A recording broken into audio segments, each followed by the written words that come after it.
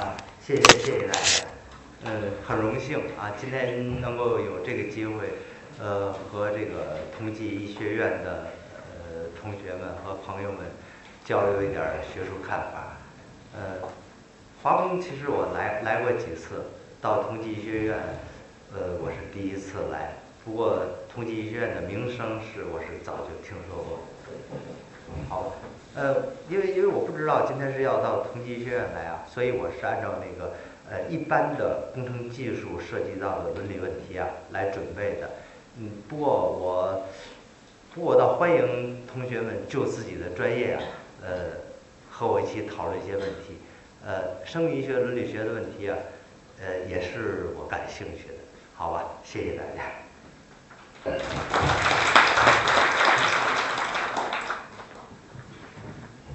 呃，我我今天讨论的题目啊，呃，是关于技术伦理的几个问题。呃，我准备谈三个方面儿。呃，第一个方面呢，就是谈一谈，呃，为什么我们今天需要一门技术伦理学？呃，第二个问题呢，呃，谈一谈这个技术和伦理的关系。呃，第三个问题呢？呃，谈的那个呃，技术伦理学的一些呃方法论问题。呃，首先呢，呃，为什么需要一门技术伦理学？呃，这个题目的提出啊，呃，实际上是有一个什么？就有一个过程，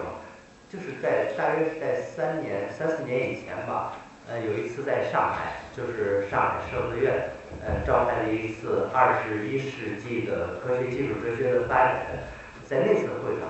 呃，有一位老先生啊，呃，他提出来，就是说，呃，我们今天需要一门科学技术伦理学。呃，就是说，我们今天需要一门科学技术伦理学啊，原因呢，呃，是因为在今天呢，呃，科学技术显示出越来越多的副作用。当时我听了这个这个翻译以后吧，我就感觉到什么呢？感觉到这种说法不错，但是呢。它不够深刻，所以啊，我就想把这个问题啊，呃，彻底的研究一下和思考一下。呃，关于这个问题呢，我也是分三个方面来讲。第一个方面呢，呃，简单的说一说这个呃技术伦理学的定位，也就是我这里的第一个标题。呃，技术伦理学呢，呃，技术伦理学问题啊，应该是我们时代问题的聚焦处。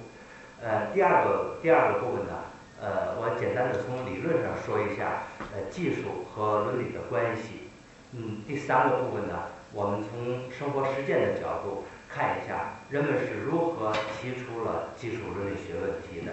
呃，在第三个部分呢，实际上我是想强调这样一个思想，就是说，呃，在一个时代，它能够成为这个时代关注的问题的，它一定啊有自己的生活实践背景，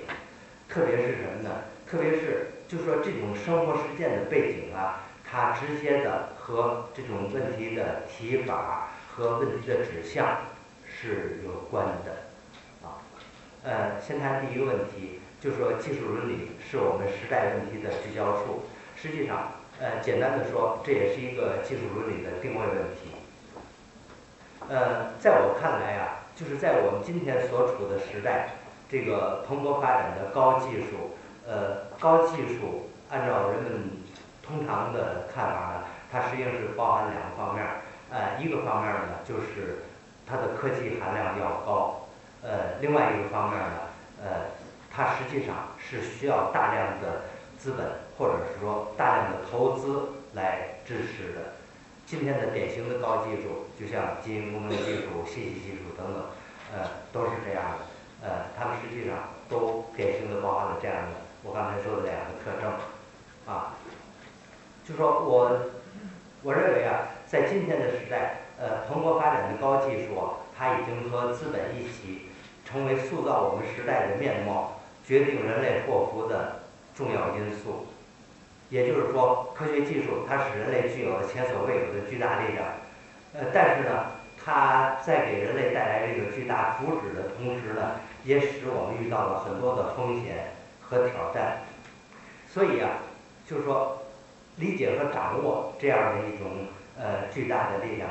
就是说，包括反思我们以往对社、对进步、对人性、对什么是好的社会等等这样的理解。也就是说，最终呢是合理的、负责任的来引导科学技术的发展。这个呢是已经成为我们时代的课题。在这个意义上，我们说，呃，科学技术啊，呃，就是科学和技术活动的伦理问题啊，已经成为我们时代的呃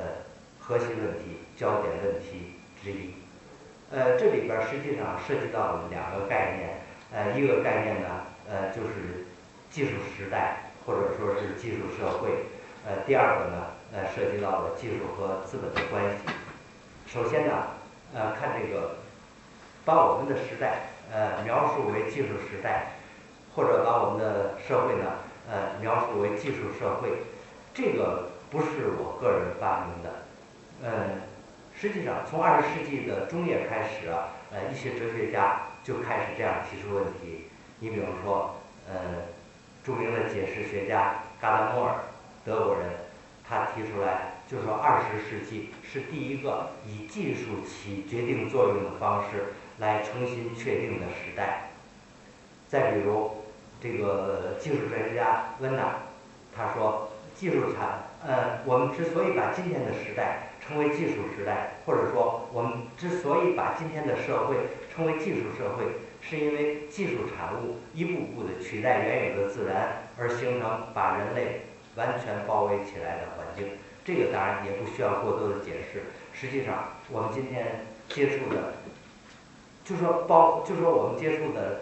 呃，大量的问题，呃，或者说我们生活的环境，甚至包括我们周围的这个呃自然景观，大部分实际上都是人工安排的结果，是吧？嗯，技术专家，呃，技术专家埃德尔，他讲，就是说由技术活动及其产物，呃，这个盒子多了啊。由技术活动及其产物塑造和重构了整个的社会秩序和人类活动的模式，也就是说，我们的个人习惯、对问题的理解方式、呃，自我的概念的形成、呃，时间和空间概念的形成，就是说社会关系、呃，政治活动、道德实践等等这些方面的建构，它呢，实际上都是以一种啊，以技术来起基本作用的方式啊，来重构的。埃埃里尔他进一步讲，之所以把我们今天的社会称作是技术社会呢，实际上就是因为我们今天的遭遇了大量的问题，呃，都是由技术来引起的，或者我们说它至少呢，大量的是和技术有关的，比如说我们今天遭遇的呃资源问题、呃环境问题、呃甚至包括像核威胁、和平问题等等，我想都是。呃，这是以往的一些谈法，呃，包括最近，实际上，呃，下边我要谈到，呃，人们对技术的看法，在从二十世纪的五六十年代，呃，到今天，它中间有一个重要的变化，呃，这是最近人们关于这个技术在社会生活中的作用的一种典型的表述，呃，就是呃，美国的那个国家科学基金会、能源部、商务部等等。他们在这个二零零一年呢，到二零零二年呢，呃，连续召开了几次会，就说讨论二十一世纪啊，呃，作为带头技术的，最主要是哪些技术？最后啊，呃，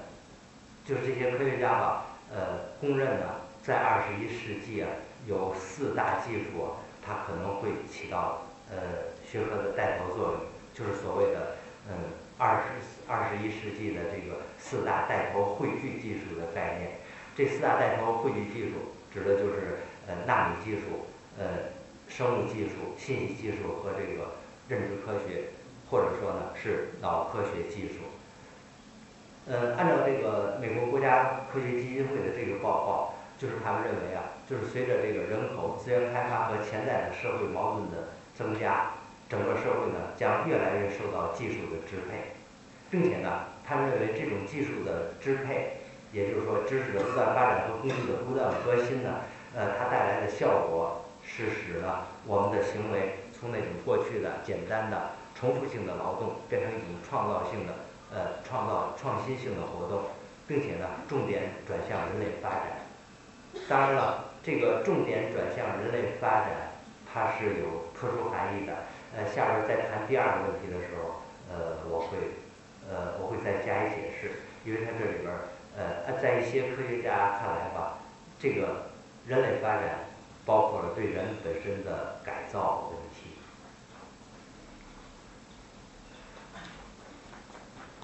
这是我的观点儿，就是说，呃，刚才原野的这些呃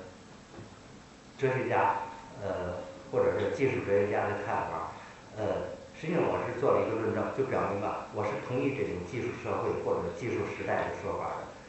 但是呢，呃，我想补充的一点呢，就是说，呃，如果我们描述我们的时代的特征，或者说，呃，描述我们这个时代，塑造我们这个时代的基本。呃，社会面貌的基本力量的话，它应该是两个。呃，我们都知道是吧？比如说我们在那个呃哲学课上，或者是在其他的课程上，我们都接触过。嗯，就说人们讲，经常讲，呃，我们这个时代呢，它仍然是马克思所说的那个时代，嗯，仍然是呃资本统治的时代。呃，我觉得，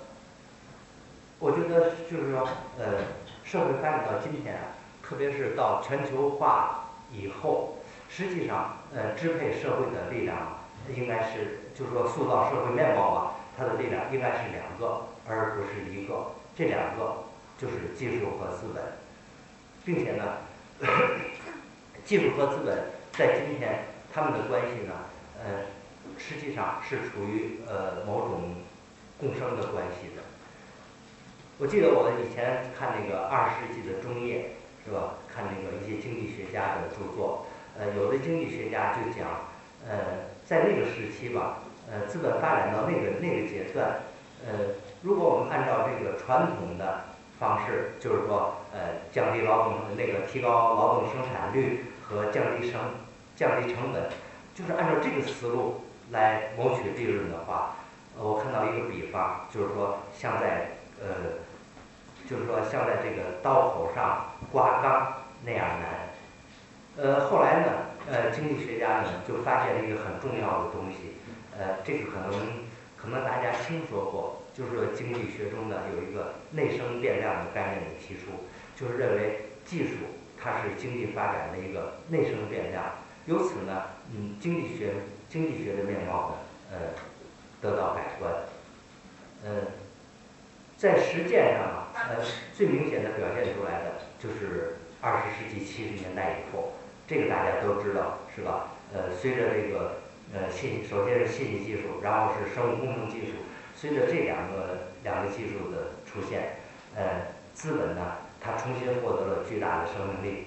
表现就是全球化。实现全球化很大程度上确实是一种资本的全球化运动。另外一方面。就技术发展本身来说，就像我刚才说到的，呃，高技术这个东西，它是需要大量投资的，是吧？大家可能在座的多数同学都是学医的，是吧？你们其实实际上是知道的。比如说像这个呃人类基因组破译了等等，像这样大的呃科学技术项目，呃，社会的投资呢，它是以多少亿来计算的。实际上，这就显显示出一种关系，这种关系就是什么呢？这种关系就是一方面，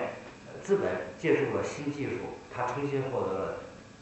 生命力，并且呢，呃，迅速走向了全球化，也就是说，又一次获得了空前的发展。另一方面呢，呃，就是今天的技术的发展，在很大的程度上要依赖于投资，并且呢，依赖于市场。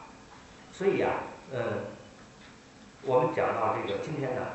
呃，塑造我们时代的面貌是这样的两种基本力量的时候，呃，我们同时啊还要研究这两种力量之间的关系。我刚才说的，至少这两种东西它有一种共生的，或者是说呃相互生发的关系，甚至我用后现代的语言来讲呢，啊，有一种某种共谋的关系。当然了，呃，技术和资本它肯定它们之间呢是会有一种对抗的关系的。比如说，呃，我通常讲是吧？资本在人类历史上，它可能是一个暂时的现象，呃，资本不会是永恒的。但是呢，技术恐怕是要伴随着人类发展始终。而且人类是会越来越离不开技术的。所以在技术和资本之间呢，它一定还有一种相互排斥的关系。呃，这种相互排斥的关系是什么呢？呃，现在是应该是就是学界吧，呃，包括这个技术哲学界呢，呃，研究的一个重要课题。嗯，这是第一个问题啊，我想说的第一点，呃，关于这个呃技术伦理学啊，在我们今天时代问题中的呃定位问题。第二呢，呃，我就想首先呢，从这个理论上，呃，分析一下，呃，为什么技术活动是直接和伦理相关的？这个呢，我还我也是分作两个层次来谈。首先呢，我们说呀，这个呃伦理诉求或者说那个呃伦理的内容吧，它本身就是技术活动的一个内在的规定。那这个道理其实不复杂，我们总说这个技术是人的设计和创造。是吧？也就是说，呃，把我们的人的意向，是吧？呃，加给这个自然物，从而呢，呃，造出我们需要的工具或者产品等等这样的东西。所以，当我们讲这个设计和创造活动的时候，它一定会涉及到两个因素。一个因素就是任何技术，呃，技术过程或者技术产品，它一定呢要符合自然规律才能成功。另外一个方面呢，就是说它又是人的有目的的活动，是吧？我们创设计和创造任何技术产品，呃，不管是手机也好，是吧？计算机也好，呃，等等，它都是为了满足人的需要，实现我们人的呃某种期望或者某种理想的。另外一个呢，就是说，当我们说到这个实现的过程的时候呢，它又是要包含着某种选择的，就是我这里说的方法或者路径的选择。比如说，我们今天要解决能源问题，是吧？我们还可以采取那太阳能，啊，也可以用这个呃化石燃料，呃，还可以用这个原子能等等。这就是所谓这个呃方法和路径的选择。所以啊，在我们讲这个呃，就是说技术的产生的时候，呃，并非它简简仅仅是简单的，是吧？从科学的呃原理就可以推出这个技术的应用的。而是什么呢？而是要经过中间经过很多过程，在这些过程里边特别重要，它是要加进人的目的、需要、期望、价值等等这些东西。而这些东西呢，当然它都有那种好的或者坏的、正当或者不正当的等等这样的区别。于是呢，嗯，技术需要进行价值的和伦理的评价呢，也就是。就是，也就是必然的。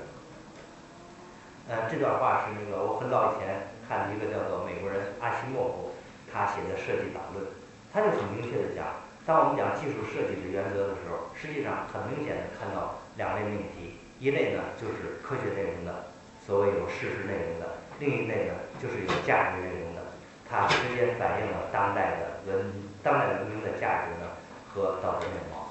这是从理论上讲啊，我说的第一层含义。呃，第二层含义啊，我们说技术和科学不一样。如果我们讲科学是一个思考的过程，那么技术呢，最重要它是做事情的过程，也就是说，呃，它是一种实践过程，是一种物质改造的活动。这种物质改造的活动，就把事物呢，呃，从一种状态变化为另一种状态。甚至呢，可以创造出地地球上从来没出现过的物品或者过程，比如说，我们可以制制造出，呃，像比钢呢，呃，强度还要大的塑料，等等。进一步讲，实际上就是塑造了我们今天的生活预期中的这个整个的世界，就是所谓的人工世界。就是说，技术直接决定人的生生存状况，并且呢，呃，长久的可能会影响我们的未来。这一点。以往呢，我们是把它是作为技术的好处来颂扬的。实际上，在这种，就是说在，在这里边呢，实际上它也包含了这个技术必须受到伦理的评价和导引的根据，就是因为它直接决定了我们人的生存状况，并且呢，会长久地影响着自然的环境和人类的未来。另外一点呢，我想强调的是。当我们强调这个技术是造物的过程，技术是实践这个东西的时候，我们说这种造物啊是社会的。你比如说，呃，美国工程院，他把这个工程技术直接就定义为一种社会的技术过程，也就是说，它是一个把科学技术和经济、政治、法律、文化、环境等等这些东西汇集起来这样一个过程。当然，在这个汇集过程中，伦理呢，呃，应该是。有一定的调节作用的。我我在这里特别强调的就是什么呢？就是技术这个东西啊，它实际上参与技术设计、技术使用和技术创造，它是社会上不同的利益集团。比如说，我们可以把一个技术过程是吧分出来，有项目的投资者是吧？有组织者、有设计者、制造者，还有产品的使用者等等，这些不同的利益集团。它本身的利益可能是不会是一致的，于是实际上在技术的设计和创造中，它本身就有这个所谓的利益博弈的过程。另外一个，它产生出一个重要的伦理问题，就是说，呃，对这个技术的这个带来的风险和技术带来的利益的呃公正分配问题。呃，底下呃如果有时间的话，我具我再具体的谈一谈。呃，这里我我只简单举一个例子，呃，你比如说在这个什么，在这个建设这个长江三峡的时候，是吧？呃，人们呢，很自然的想到了当年的那个黄河三门峡的建设，呃，实际上在黄呃黄河三门峡的那个建设过程中，比如说三门峡水库建成了，是？我看到那个当时黄河的中下游在这个灌溉、航运、呃发电等等这一方面获得了极大的利益。你比如说，当时我看到的资料，那个时候，华东地区的电网啊，呃，一度电是两分钱。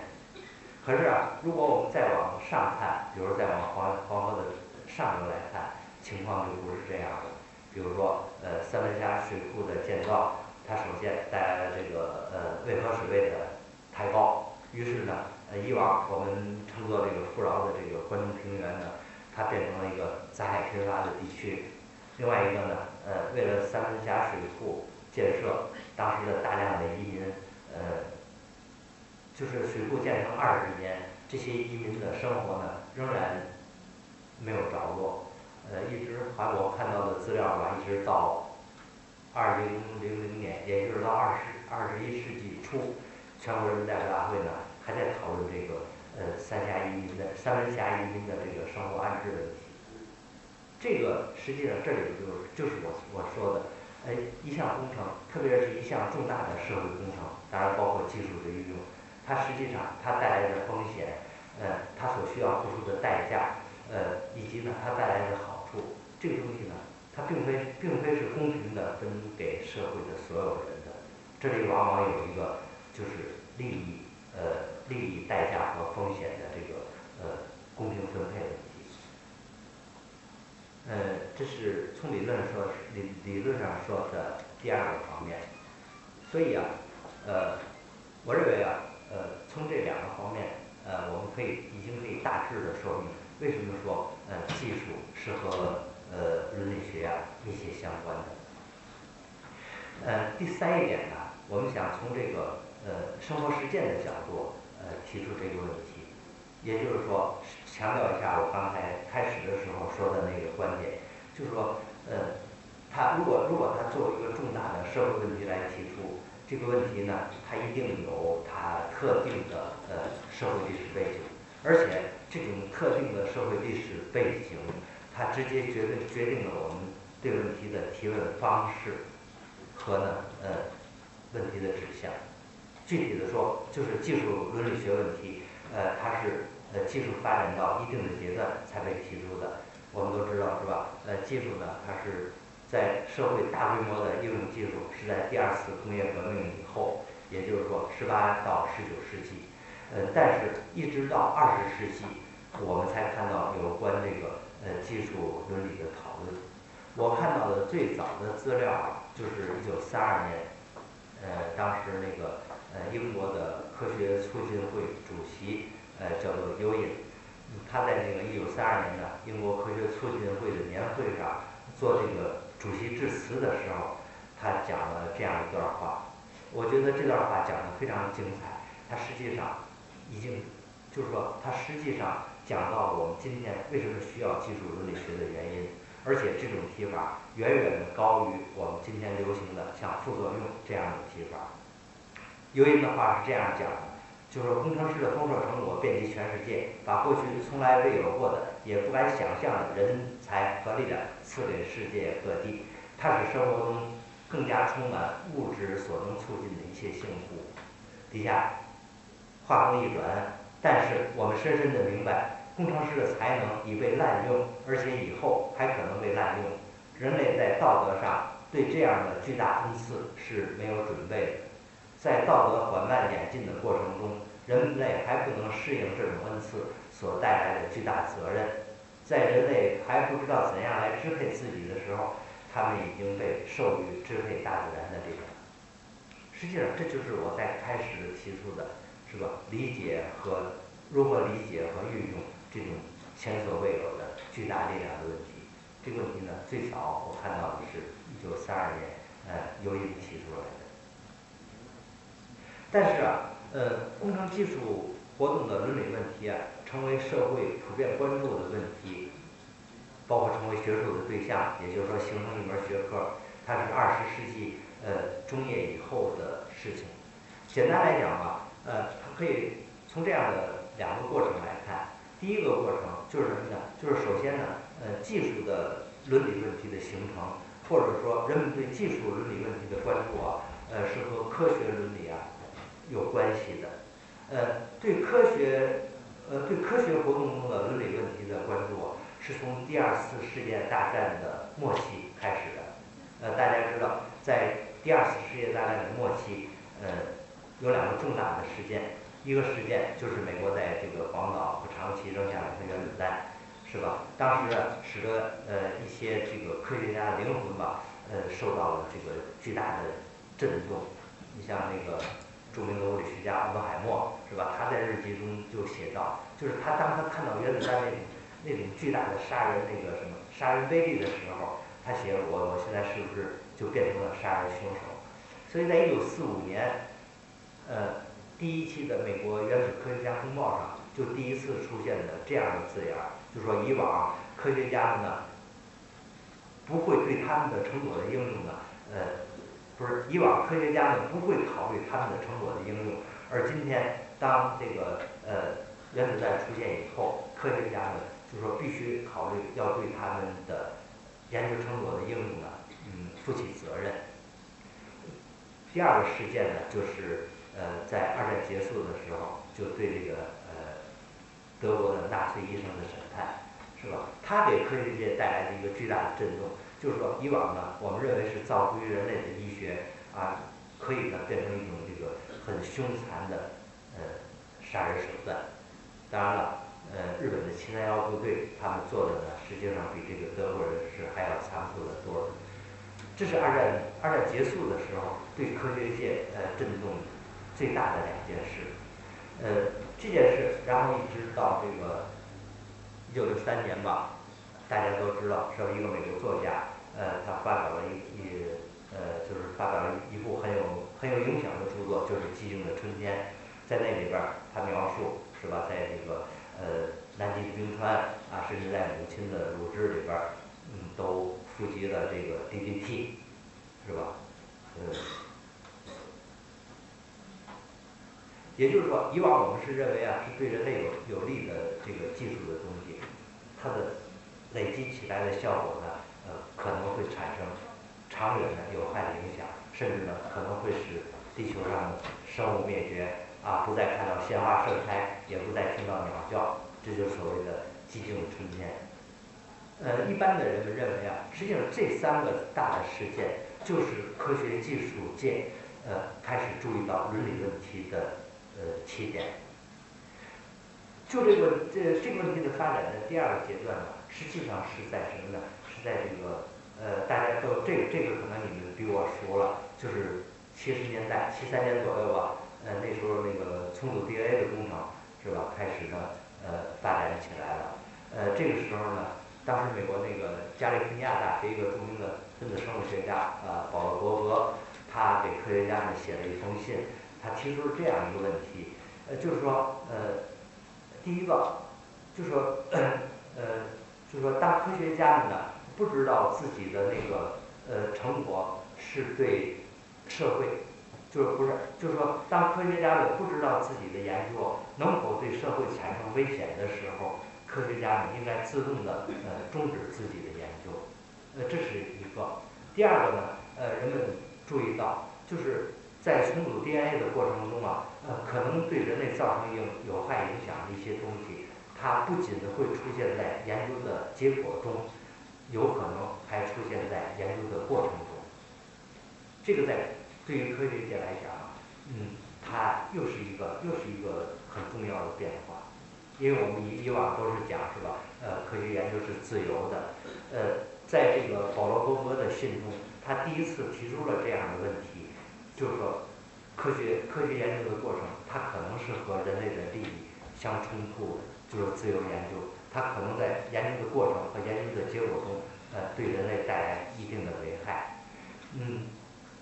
和这个事件同时，几乎是同时出现的吧，呃，就是大概是一九六四年那个什么，呃，世界卫生组织的那个赫尔辛基宣言，赫尔辛宣赫尔辛基宣言里边，呃，有一句也是很值得注意的话，就是说他讲，就是当受试者的利益啊和这个医学和医学进步以及社会啊发生矛盾的时候，呃，应该呢，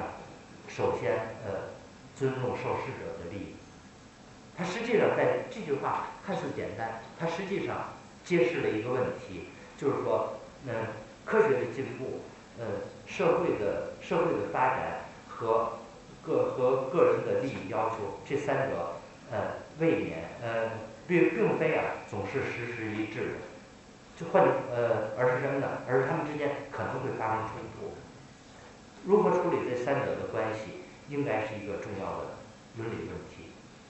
就是技术伦理啊，它出现的背景，主要是在科学伦理啊，科学家们持续的开始持续的注意伦理问题，是在这样的大背景下出现的。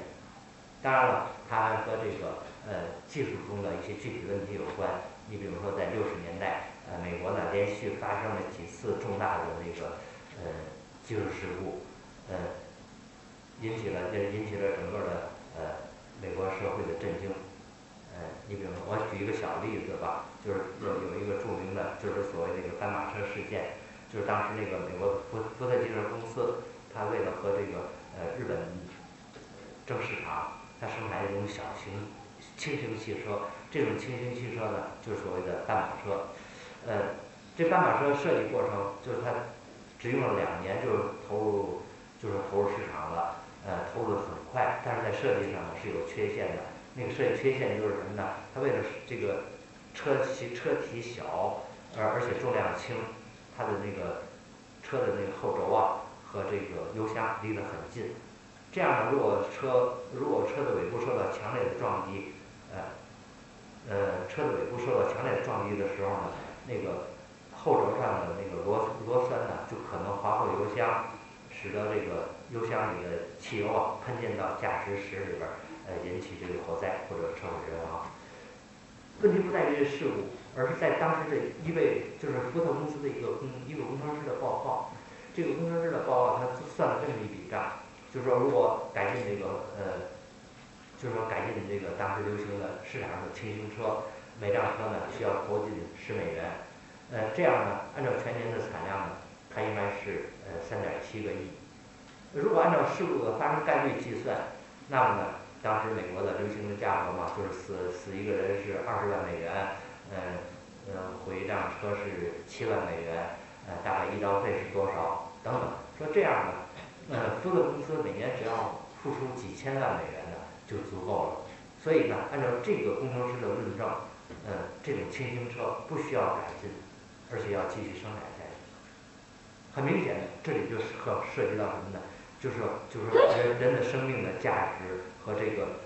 市场利润等等这些东西的比较，这件事在美国当时是引起了很大的轰动，是朝就是朝野上下都在讨论这件事，等等，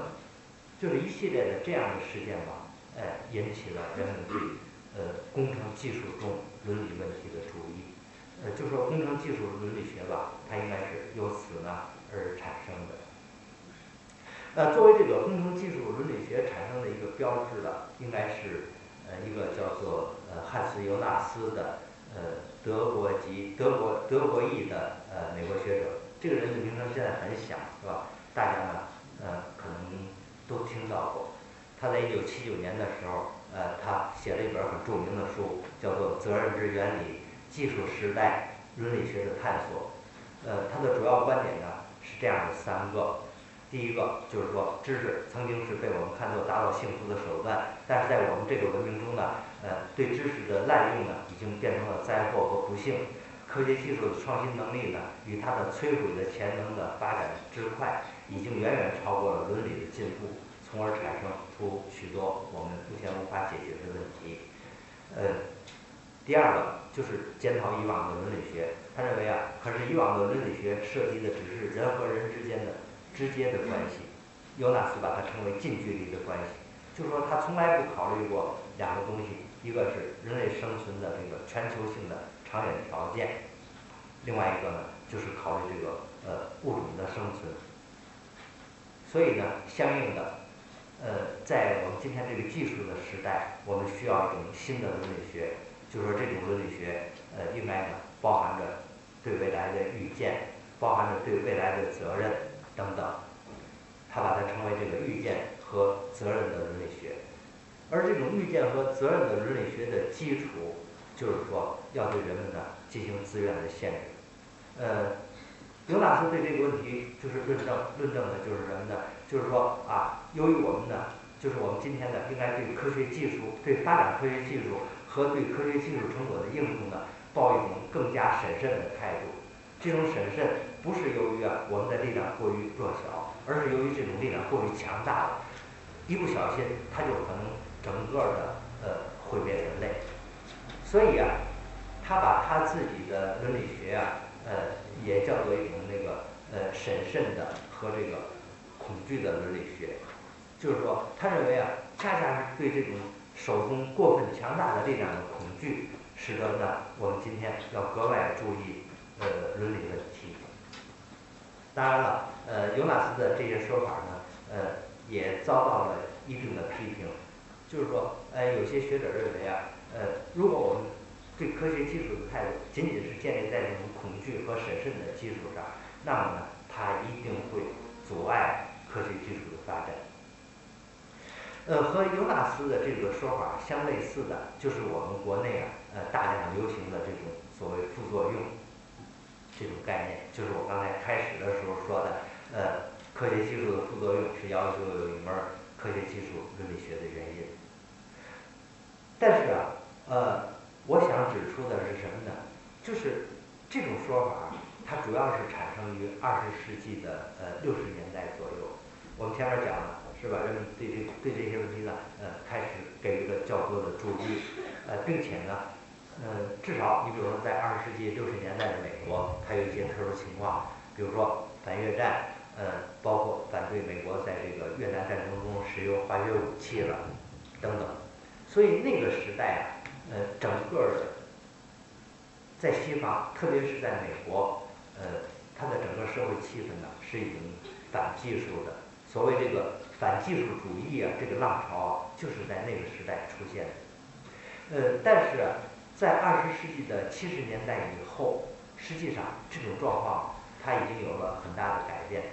呃，这个改变就是开始，就是开始的时候，我提出我提到那个原因，就是当这个全球化出现以后，是吧？呃，人们人们人们发现这个科学技术，特别是技术，它几乎是所有资源中最重要的资源，它也是人们这个发展经济、呃增强国力等等。它是一种最最有力的手段和工具，所以啊，首先是在西方社会，特别是在他们的政府中，对技术的态度已经有了很大的转变。你比如说，呃，我看到在一九九四年，当时的那个美国总统克林顿和呃和这个他的副总统戈尔俩人合作写了一本书，题目就叫做《科学与国家利益》，就是美国的国家利益啊。呃，他其中书中写到，科学，呃，哎呦错了啊，这不是即使啊，是既是，既是无尽的资源，也是无，既是无，既是无尽的前沿，也是无尽的资源，是国家利益中一种关键性的投资。嗯，两年以后，美国国务院呃发表了一本配套的著作，那本著作的题目叫做《技术与国家利益》。他这里边讲，就说技术上的领先地位对于美国的国家利益，比历史上的任何时期都显得至关重要。除了美国以外，你比如说，呃，在克林顿发表他那本书之前，一九九三年，呃，英国政府呢，呃，发表了一本白皮书。那个白皮书里边呢，它全面回顾了三百多年以来英国的科技政策的变化。呃，它特别是讲到啊，三百年以前，就在牛顿那个时代。是吧？世界上呢最重要的科学论文是吧？每十篇里边就有一篇是英国人写的，或者是用英文写的。可是呢，今天啊，这种时代已经风光不再，所以啊，他就是那个白皮书就强烈要求英国政府呢改变以往对科学技术的呃自由放任的政策，要求加强对科学技术的投资引导等等。就是说在二十世纪的从七十年代开始。我看到了很多的西方国家政府，当然也包括日本，在呃发表了这类东西，就是说他们开始呢呃全面的检讨科学技术和政策，并且呢试图更多的从积极的方面呃来看待科学技术，相应的政策也有很大的变化。你比如说呃美国，它在一九七二年成立了国会的呃技术评估办公室，那个时候呢主要就是对可能。呃，就是可能造成危害，特别是可能造成那个环境危害的技术呢，呃，强强制下马。像美国对这个呃高速的超音速飞机的研究，就是那个时候下马的。到了九十年代呢，这个美国的这个技术评估的办公室呢，它解散了。当然了，这个解散呢，它并不意味着呃伦理问题啊在技术活动中不重要，而是反映了一种转变。这个转变呢，呃，我可以粗略的描述为两个方面。就是说一个方面呢，呃，一个方面呢，就是说，呃，要求伦理学啊，不仅仅它是在要限制科学，要求科伦理学啊，不是要限制科学技术的发展，而是呢，要和科学技术共同发展。就是说，在科学技术发展中，呃，伦理学本身也要创新，要随着科学技术发展呢，呃，一方面是解决科学技术发展带来的伦理问题，呃，另外一个方面呢。也呢，呃，同时呢，也要促进和帮助科学技术发展。当然了，相应的就要求把伦理学的研究呢，呃，渗入到科学技术发展的具体过程中去。也就是说，呃，不要等到最终的成果出现了，最后的问题出来了，我们再进行伦理的评判或者解决，而是呢，跟随着科学技术的前进的步伐呢，呃，来不断的解决问题。这就是我在开始的时候提出来啊，呃，提出来就是说，呃，关于技术技术伦理的问题的提出啊，它实际上是有时代的背景的，啊，这个背景啊，它直接决定了问题的提法和那个什么和问题的指向，或者更具体的说，就是说，呃，在我们看二十世纪的六十年代、七十年代和九十年代以后，至少在国外，他对问题的提法呢是不一样的。如果说六七十年代，呃，六七十年代，呃，对这个科学技术发展，他持更多的从伦理上的批评态度的话，那么呢，呃，在六七十年代以后，开始转变一种呢，呃，更为公允的，呃，和客观的态度。所以啊，这就是我开始引入这个引入我们这个问题的那句话。我觉得这个单单纯强调副作用啊，呃，恐怕是有问题的。道理就在这儿。如果让我回答一下，你说啊，为什么我们今天呃需要一门科学技术的伦理学？呃，我想这样的表述，实际上这个表述啊是四个方面，而且这四个方面实际上和我开始引用的那个呃英国的那个 U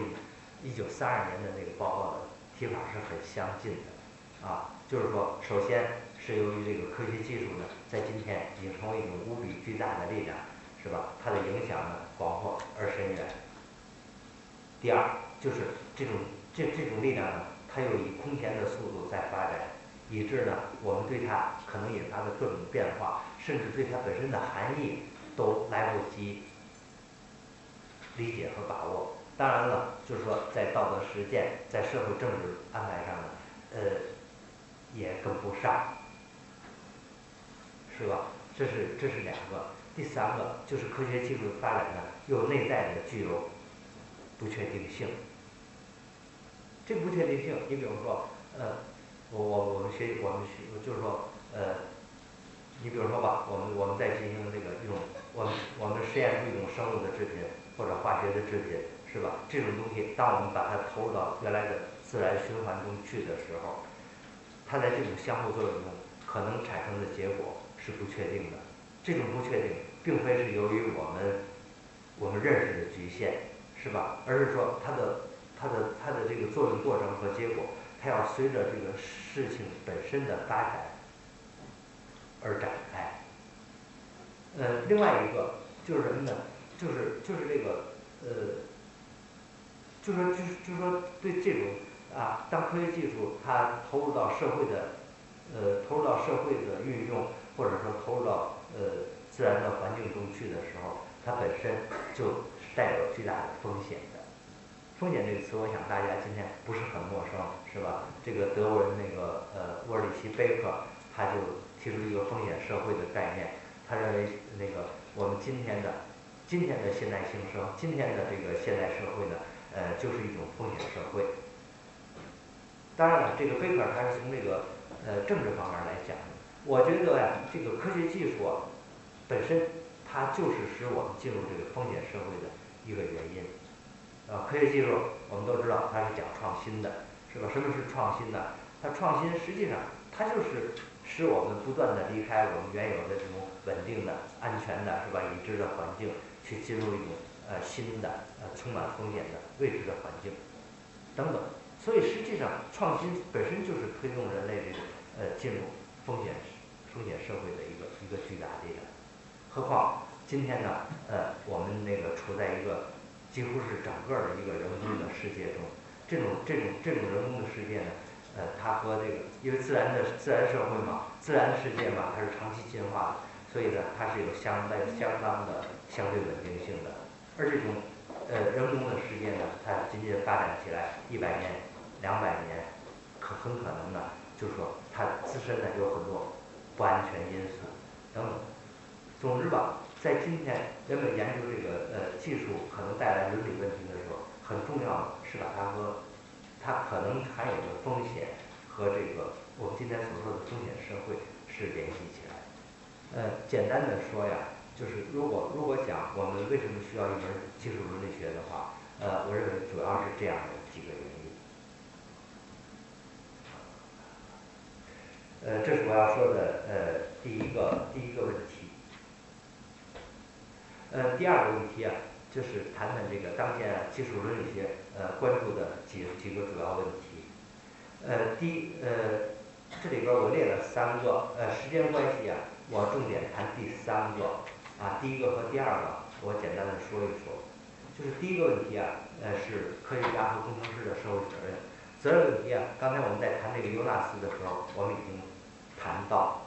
啊，这里边儿呃，我主要引用了这个呃德国的哲学家呃汉斯伦克，他讲的为什么我们今天要强调科学家和工程师的社会责任。底下呢有一部分问题呢，我们会留到第三个问题。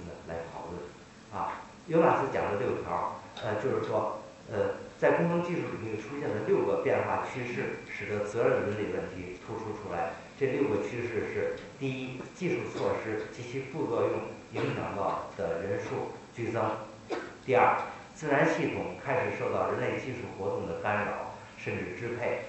第三，人本身也受到技术的控制，不仅通过药理作用，通过大众媒体和对潜意识，通过大众媒体对潜意识的影响，而且呢，潜在要受到基因工程的影响；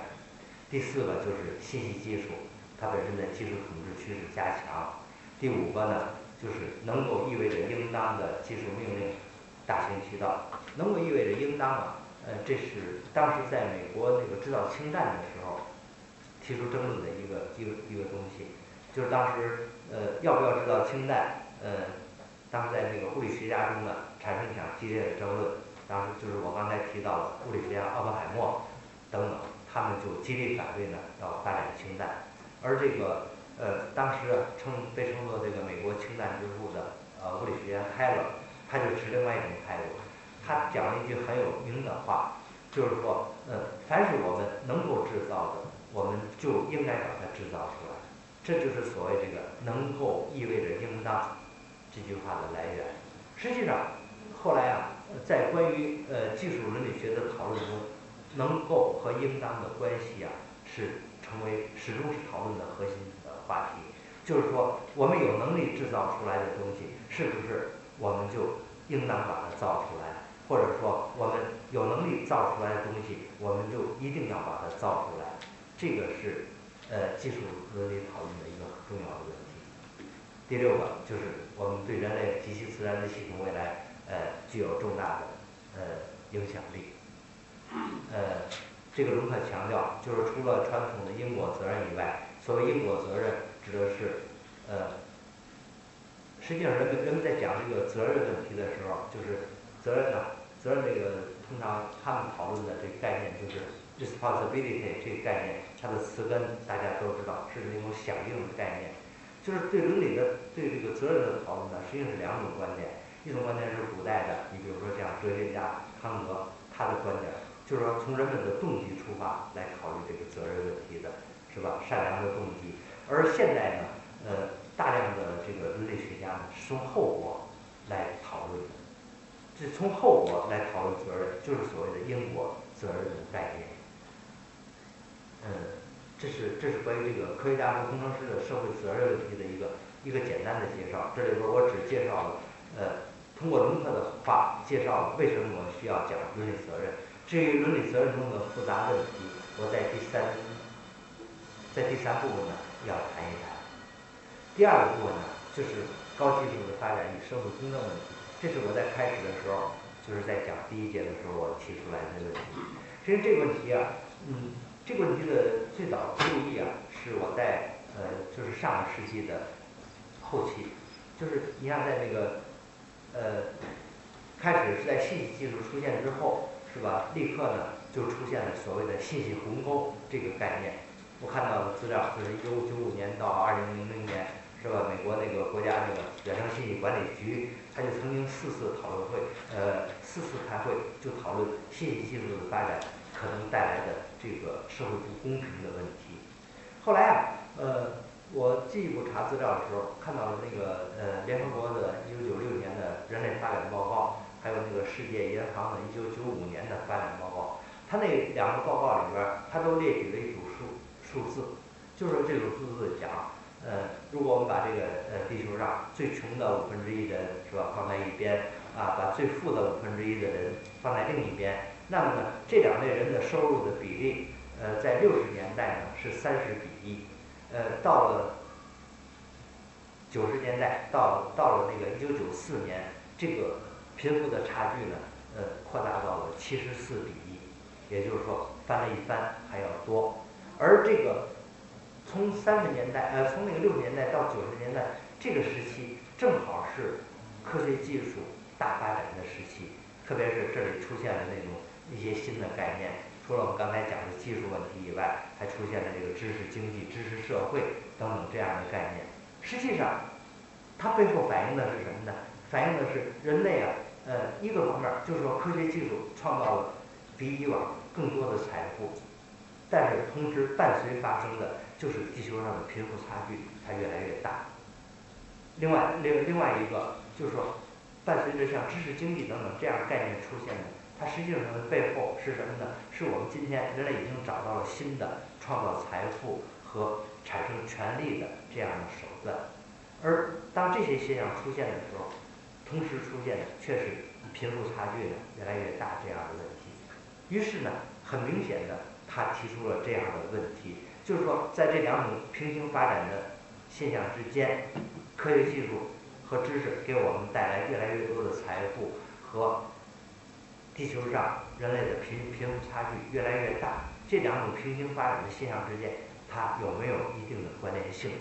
这就是我提出来这个题目的呃原因。实际上，这个这个问题我是最早是在上个世纪末九九年吧，在德国阿登纳基金会啊，他们组织的一次讨论中啊，提出的这个问题。呃，后来啊，呃，到到近年，我发现呢，呃，比如说呃，在美国是吧，一些技一些技术科学家开始开始把这个呃社会公正问题啊，呃，列为技术哲学讨论的呃三大关键问题之一了。呃。这里我仅仅是最简单的从理论上概括一下，就是一个是高技术和它的产业化的出现，另外一个是后后学院科学的出现。所谓后学院科学啊，是这个呃德国的那个呃科学社会啊不是德国说错了啊，英国英国的科学社会学家齐曼他提出来一个概念。这这概念的核心是什么呢？这概念的核心就是说，以往的科学啊，原则上还是为知识而知识的，而而今天的科学呢？它已经变成了一块啊，被切割的大大小小的这样的一种拼，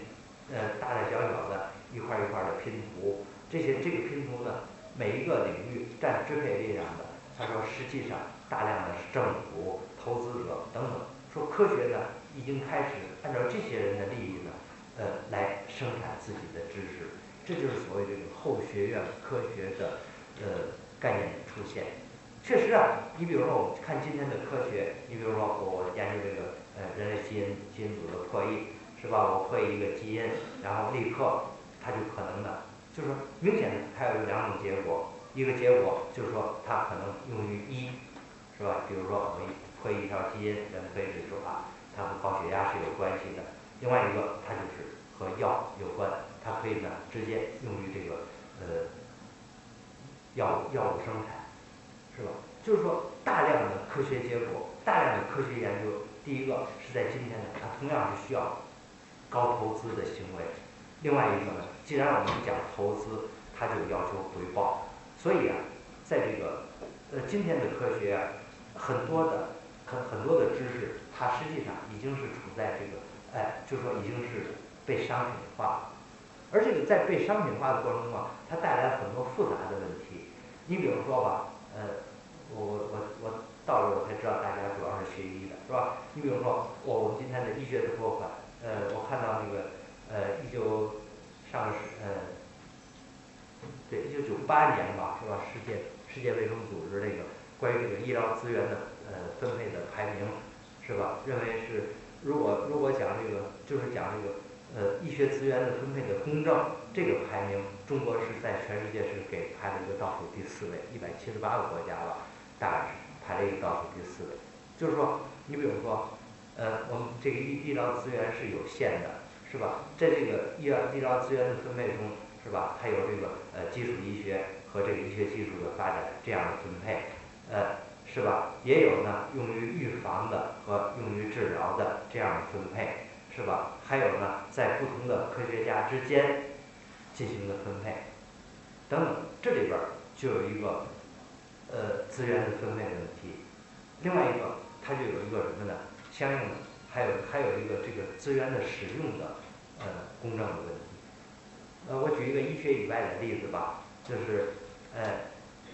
四十年代，美国那个加利福尼亚大学的一批工程师，他们研究了一种土土豆收割机。这种土豆收割机呢，呃是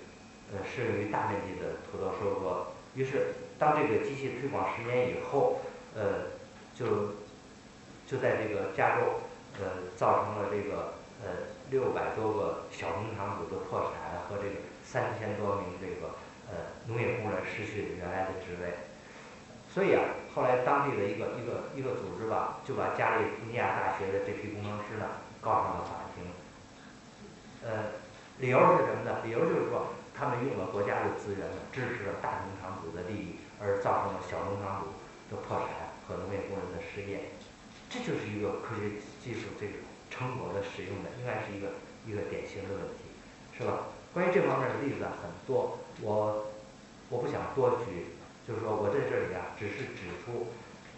呃，指出啊，实际上这个公正问题啊，包括它的带来的利益，呃，它付出的代价和这个所带来的风险的公正分配问题啊，它是越来越多的。引起了呃全社会，包括呃医学呃就包括这个呃生命医学研究领域的呃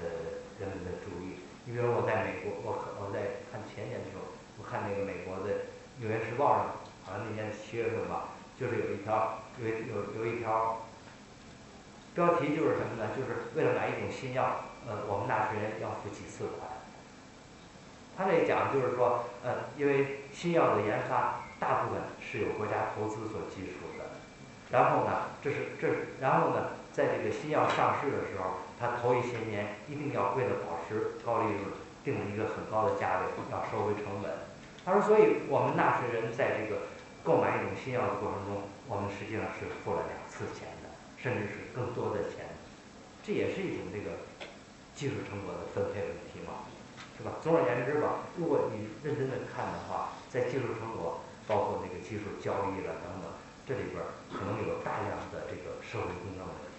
而作为一种深层的社会背景的，就是什么呢？就是技术和知识今天已经变成了呃我们创造财富的一个主要手段。而当一种创造财富的重要手段出现以后，一种新的手段出现以后，它一定会引起这种呃社会分配的。呃，某种问题，也就是说，人们要重新提出这个呃分配公平的问题，这是我我们提出这个问题的一个一个基本的背景。展开我就不展开了。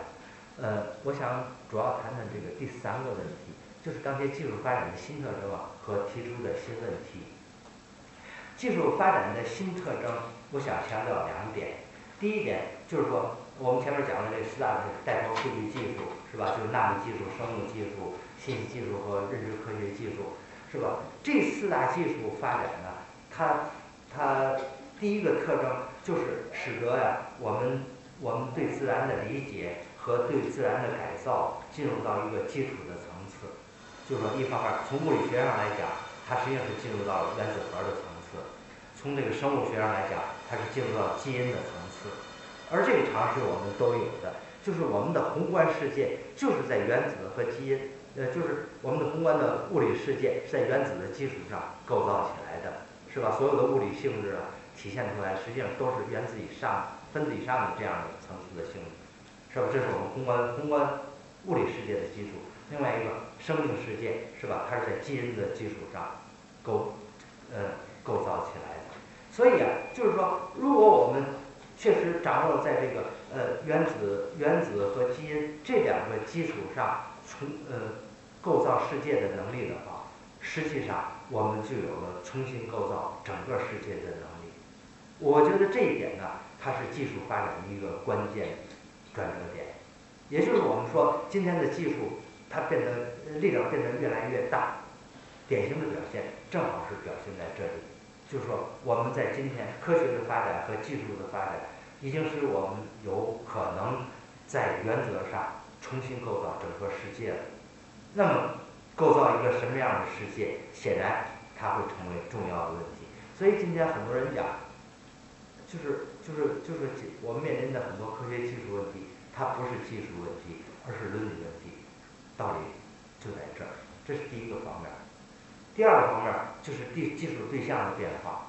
就是在以往啊，我们讲那个技术是主要是以机械技术为核心或者是为代表的，在那种技术中啊，呃，我们的身体自然而然的就是出发点，是吧？我们经常打比方讲啊，就是计算机是我们大脑的延伸，是吧？汽车轮子是我两条腿的延伸，啊，某某工具呃是我们人手的延伸，是吧？这种这种比喻大家是很熟悉的，就是说。在以往的技术中，总是我们人是出发点的，或者呢讲的更形象一点，总是我们人拿着解剖刀呢去改造自然的。可是当这个呃生命技术和这个呃当生命技术、纳米技术和这个信息技术发展起来以后，在技术发展的矛头呢，或者技术发展对象开始出现一个转变。这个转变就是今天的技术越来越以对生命和人本身的改造。为对象，这是今天技术发展的第二个变化，就是我们不仅仅在重新设计生物的结构和功能，而且呢，实际上已经重新在设计我们自己的身体了。这里边除了生有生命医学技术以外，还有信息技术，就是这里这个我提到这个 cyborg 和这个 biolog 就是这样的一个意思嘛。这个 cyborg 就是六四年吧，大概是就是美国一帮宇航学家们提出来的，他们提出来什么呢？呃，就是说呃，为了为了能适合这个远距离的这个宇宙航行，我们呢必须我们必须用药物的和生物的方法改造人的身体。你比如说啊，呃，我用反应停，它可以呢，呃，可以使人的代谢缓慢，是吧？另外一个，我们进行呃宇宙航行的时候，不需要这么大的骨盆，是吧？也不需要这么长的下肢。于是有的科学家提，首先提出来啊，这个下肢残疾的人也许可能呃适宜做宇航员。然后有科学家继续进一步提出来，我们能不能培养出一种人类？这种人就是小骨盆。短下肢，这样呢，他们就可能完成呃未来的宇航任务等等。这是这个 “cyborg” 这个词的来源。比较多的就是生生命的杂合体。你比如说 “cyborg” 在今天是吧？人们已经可以在大脑里边植入芯片，是吧？不管是增强记忆也好，是增强对外的感受能力也好，实际上它已经是一种人和机器的一种混合体了。由此提出来的问题就是说，我们今天。是吧？可以完全可以提升，从那个啊，在大脑中植入芯片，是吧？到这个呃呃设计这个婴儿的性别啊，克隆人等等这些技术我们都具备了。也就是说，对生命的对对生命的改造，我们今天已经有了大量的手段，是吧？今天啊，我可以拉一个双眼皮儿，明天我可以做一个隆胸手术，是吧？后天我可以把某一个关节儿啊，甚至把体内的某一个循环换成是是。是机器的，就是如此的一步一步的改造下去，就是到什么时候，我们就人就不再是人了。这里边可能不可能有一个界限，而且它本身会带来哪些重要的社会问题？这个东西呢，开始提上日。这是我说的这个今天的技术发展，它也带来它产生的第二个重大变化。我觉得这两个重大变化。是今天的技术发展中的突出事件，由此啊，它使得这个呃伦理问题啊，比以往啊呃会变得更加突出。呃，作为一个例子，作为一个一个例子吧，呃，我想简单说一下，就是我不知道大家注意没有，就是在当这个所谓这个四大带头汇聚技术呃出现以后，是吧？在美国呢，呃，它出现了关于所谓的后人类或者超人类的讨论。就从二零零一年开始，是吧？呃，一些人，实际上其中很多是科学家，嗯，他们开始提出一种呃所谓的这个后人类或者是超人类宣言，是吧？其中呢，呃，最重要的就是要在这个知识、自由、寿命、智慧等等这些地方呢，由人工进化来主导人的进化，或者说用他们自己的话说，就是说人的自然进化到今天已经终结了。今后的进化就是人的这个呃，通过这种纳米技术、网络技术、呃，生命科学技术等等来主导人的进化，以以呢呃使我们呢获得这个更更就是说一种更卓越的能力，呃是吧？一种更长的寿命，呃更灵敏的反应等等。而这个作为这种超人类主义，呃，就是说超人类主义宣言。它背后的那个哲学的观点是什么呢？就是哲学观点主要就是这样，两条或者三条。一条就是说，呃，彻底贯彻启蒙精神，把这个无限进步、理性这样的观点贯彻到底。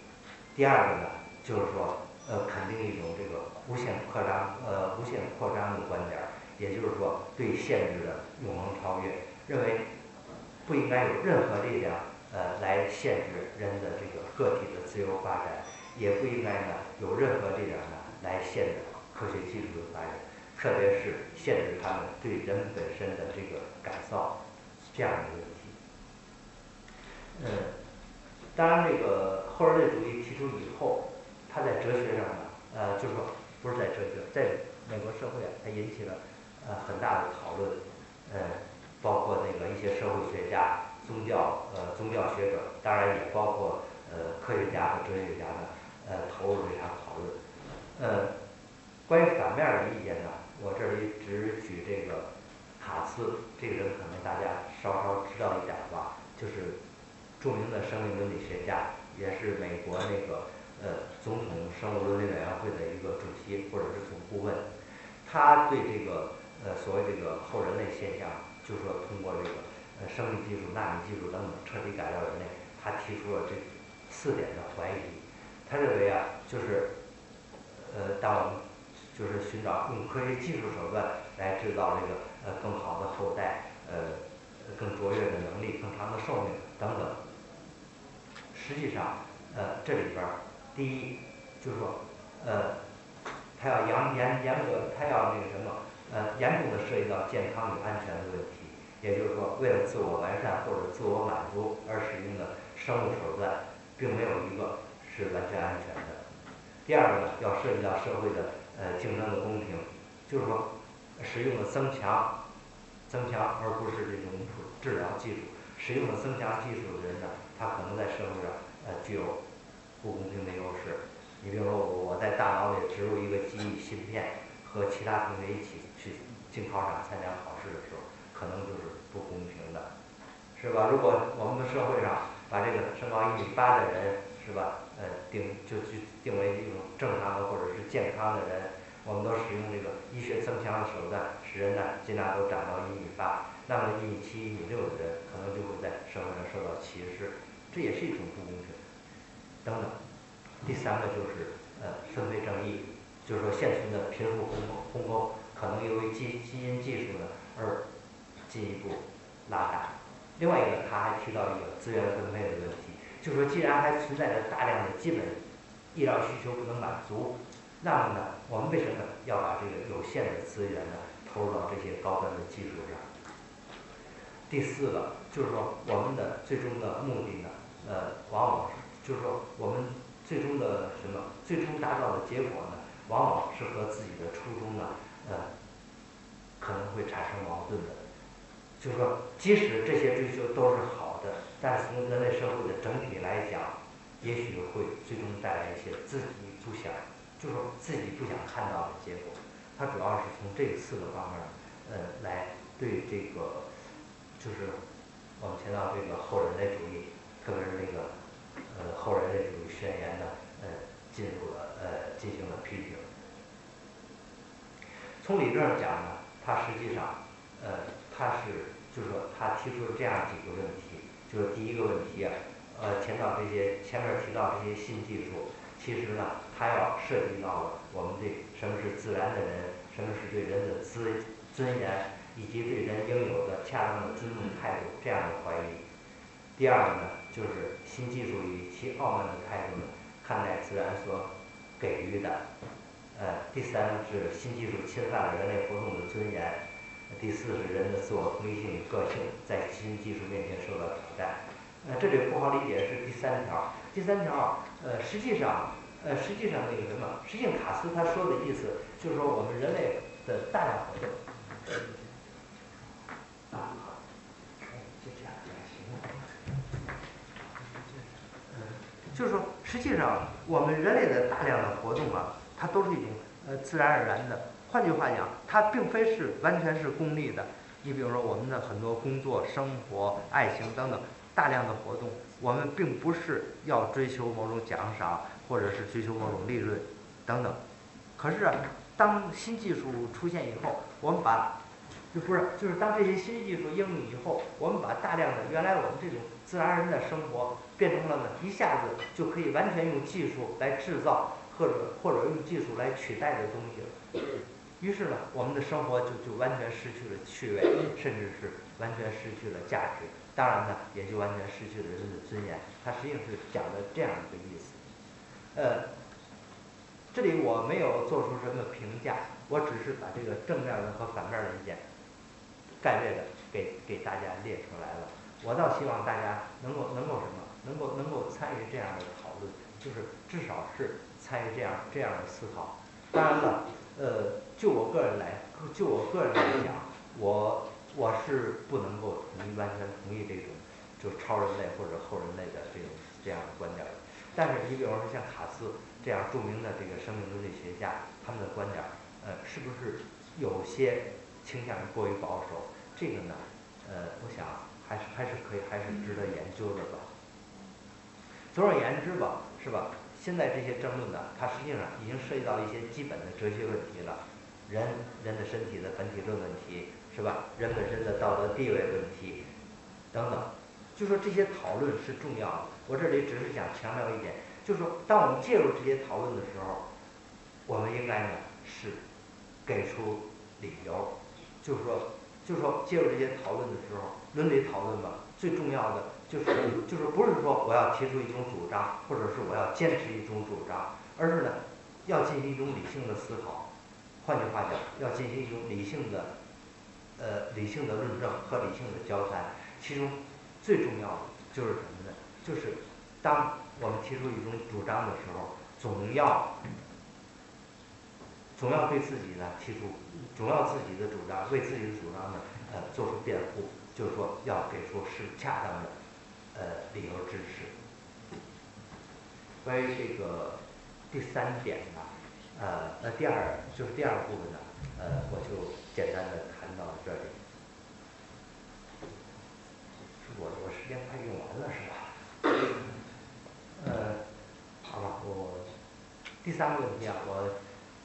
啊我还是说的简单一点吧。呃，就是呃第三个问题，我们讲技术伦理是一种实践伦理。呃，第这里我主要谈两个问题。第一个，我想解释解释我说的实践伦理。实际上，呃，这里我想说的是这个原则的应用啊，呃，理论理论把理论应用于实践。它可能不像我们过去理解的这样简单，这是我第一个题目，实践伦理的含义。第二个题目啊，就是说，当我们强调实践伦理的时候，我们很重要的是要强调这个伦理冲突的解决问题。好的，首先第一点，谈一谈实践伦理。呃，通常啊，呃，人们把这个这一组伦理学问题。比如说技术伦理学问题，呃，生命医学伦理学问题，通，呃，都称作应用伦理学问题。也就是说，呃，把，如果从字面上理解呢，就是说，呃，把一些伦理的原则是吧，应用应用到呢这些呃工程、技术、医学等等活动中呢，问题的解决中去。但是实际上，呃，问题啊，并不是这样简单的。无论我们是讲这个应用伦理学也好，还是讲实践伦理学也好。它都有一个很重要的特征，就这个特征就是它所面对的问题是来源于生活实践的，而它最终的结果也是要解决问题，而最主要的还不是要发展理论。由此啊，这里带来了一些其他的呃其他的特点。你比如说，呃，在这里边，它的推理过程就不是那种简单的呃演绎逻辑了。就是从前提严严格的大前提，严格的一步一步的，呃，推出结果，而是包含着很多像类推了、选择了、权衡了，呃，甚至是什么呢？呃，呃，甚至妥协了等等，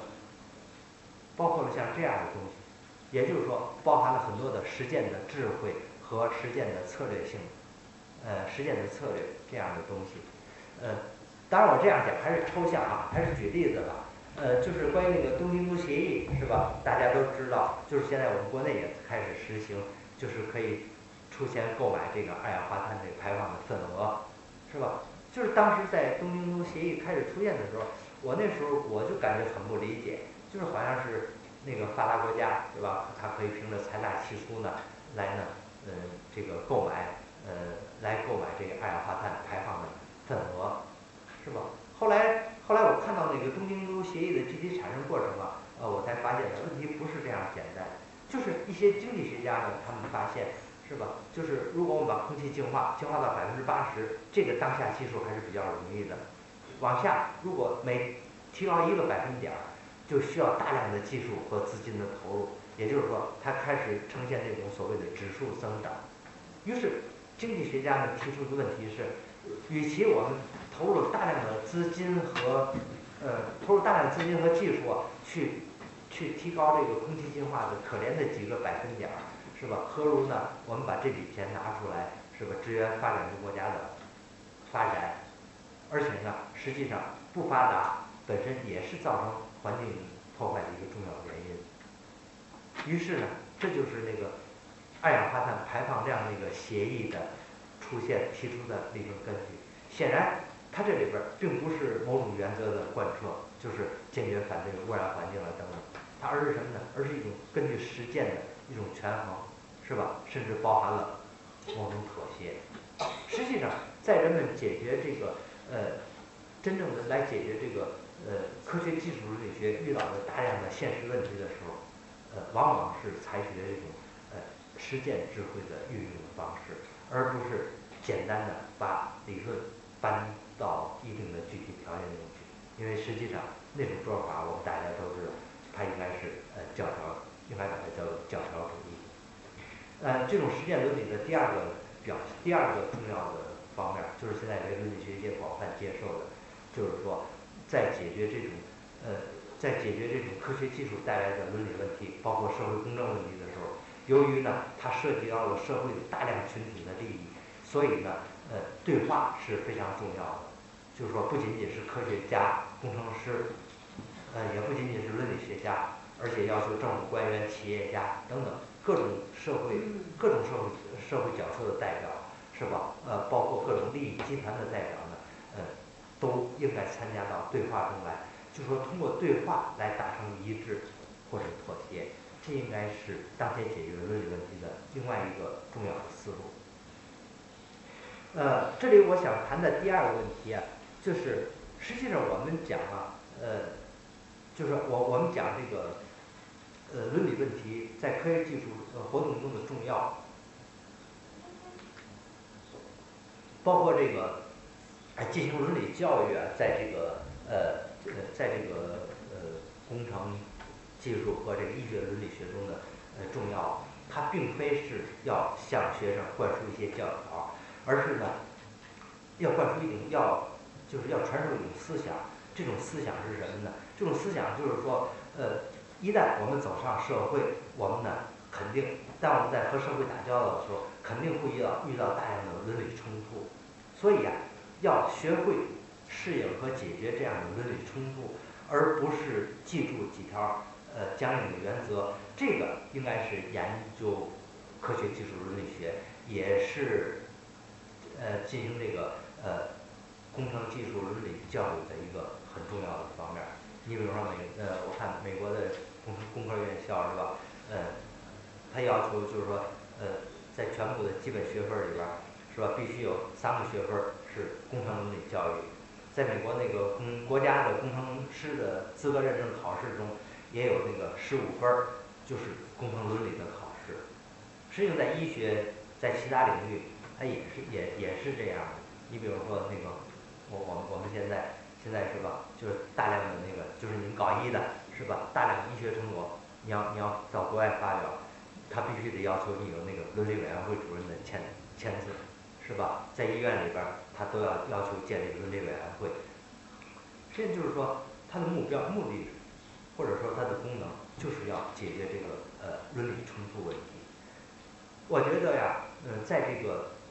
就是在工程包括医学中啊，人们遇到的大量的伦理冲突中啊，有三类冲突啊。是重要的，这就是我在这里列出来的这个呃义务冲突，也可以叫责任冲突。嗯，第二个呢就是价值冲突，第三个呢呃就是利益冲突。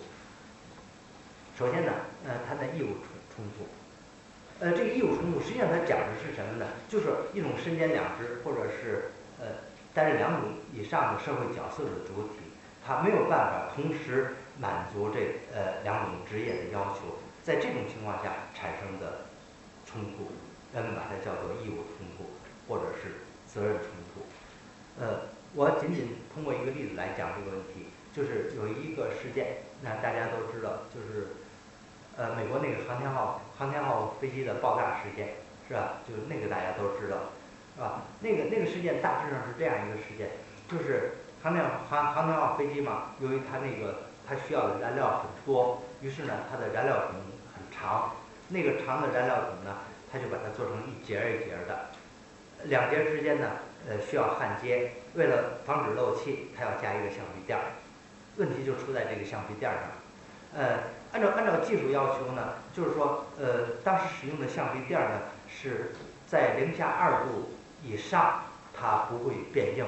或者是变形，也就是说，呃，不会不会产生漏气事件。呃，当时啊，就是发射那个航天号飞机的时候，恰恰是在美国那个佛罗里达嘛，那个那个那个地方本来是很暖和的，可是恰恰是连续几天气温都在零下二度左右，于是，呃，当时那个什么，呃，当时那个呃呃发展那个什么，就是负责发射的呃这个公司和这个美国航航航空航天局啊，呃，他们开了多次会议磋商，而且是一再。一再推迟发射期，就是最后一次，啊当时那个呃公司的这个一个业务主管就对当时的这个公司的技术主管，就是两个副经理之间发生争论的时候，这个技术主这个业务主管呢，呃对技术主管呢就讲了一句很著名的话，呃就是说脱下你的工程师的帽子，呃换上你的换上管理者的帽子，就是用我们中国话讲，就是把那个把你的屁股坐到管理者一边。就是说，你现在重要的你要考虑公司的信誉和订单，因为我们已经是一再一再推迟发射了。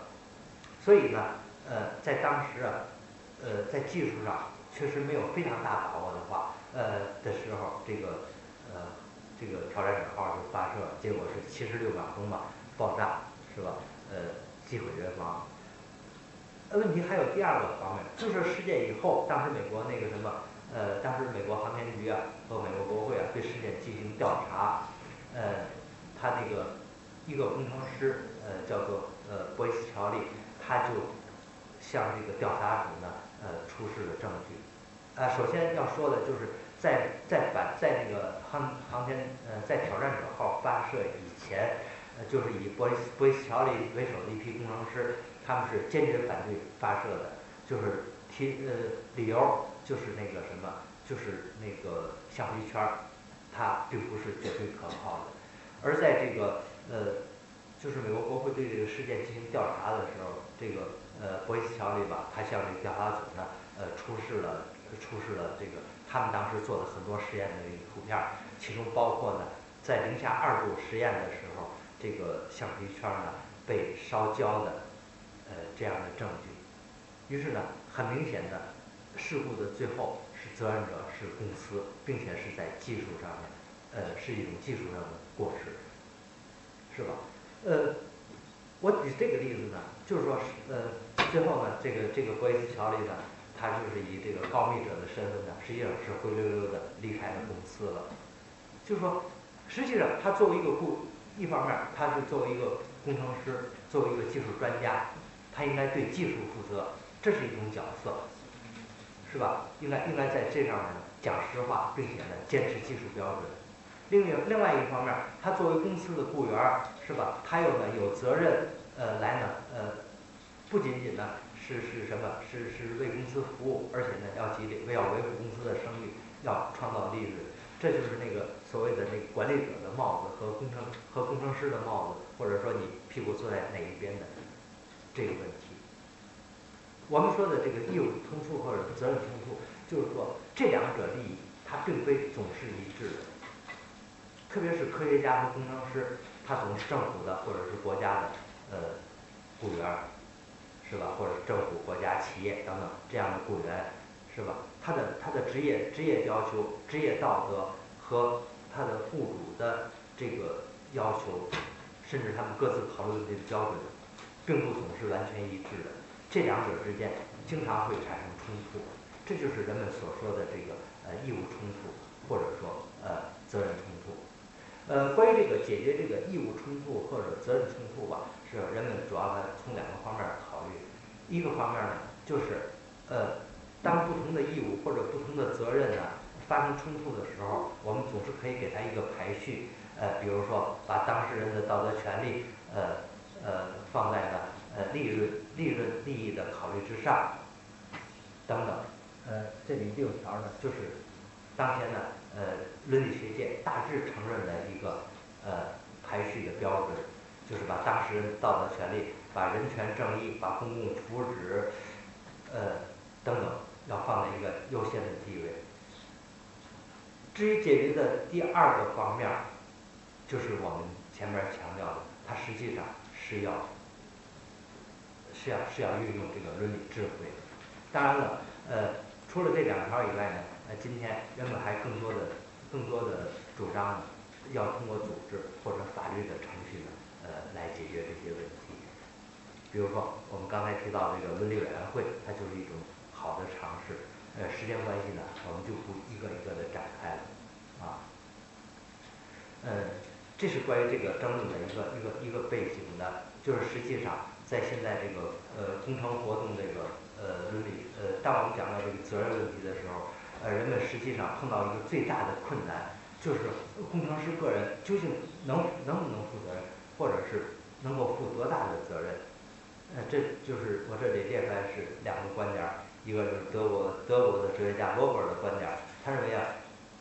既然工程是一个整体的和社会的事业，并且它它其中还有决策者、管理者的作用，所以工程师几乎是不能够负责任的。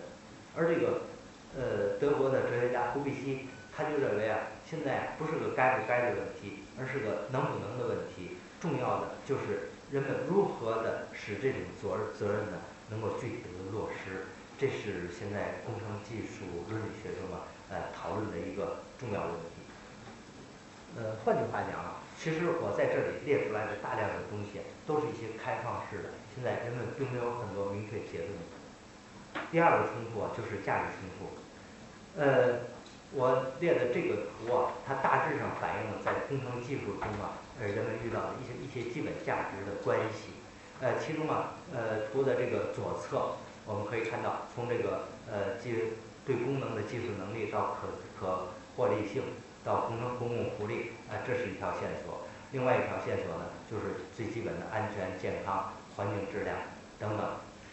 作为最高价值的，可以叫做可以是社会发展和呃个人发展和社会质量两个方面儿。而作为基础的东西，就是说，呃，一个技术一定要承担一定的功能。另外一个呢，就是说安全应该是一种最基本的呃道德考虑，这是这个图的这这这这个图的这个八个八个指标的基本含义。呃，红线，呃，这个白线呢，它表示就是说可以相互促进或者支撑的关系。这个红线呢，表示可能有的排斥关系。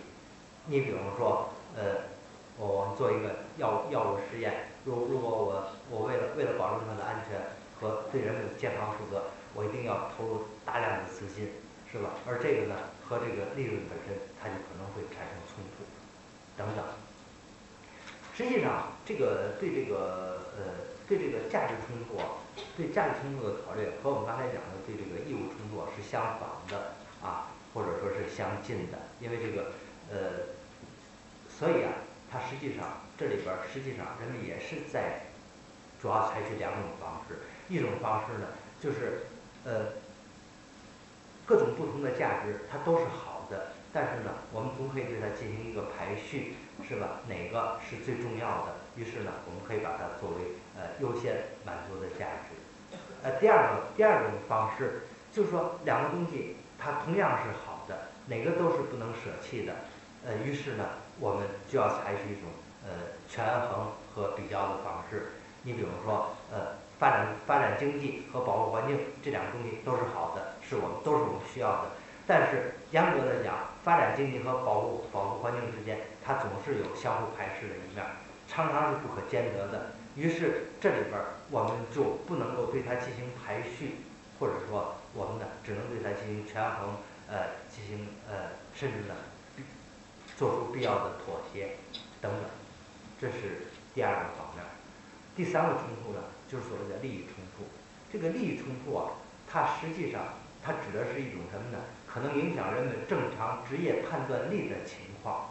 这里我引用这个戴维斯给利益冲突下的定义，它指的是一种境况。首先啊，第二就是在这种情况下呢，呃，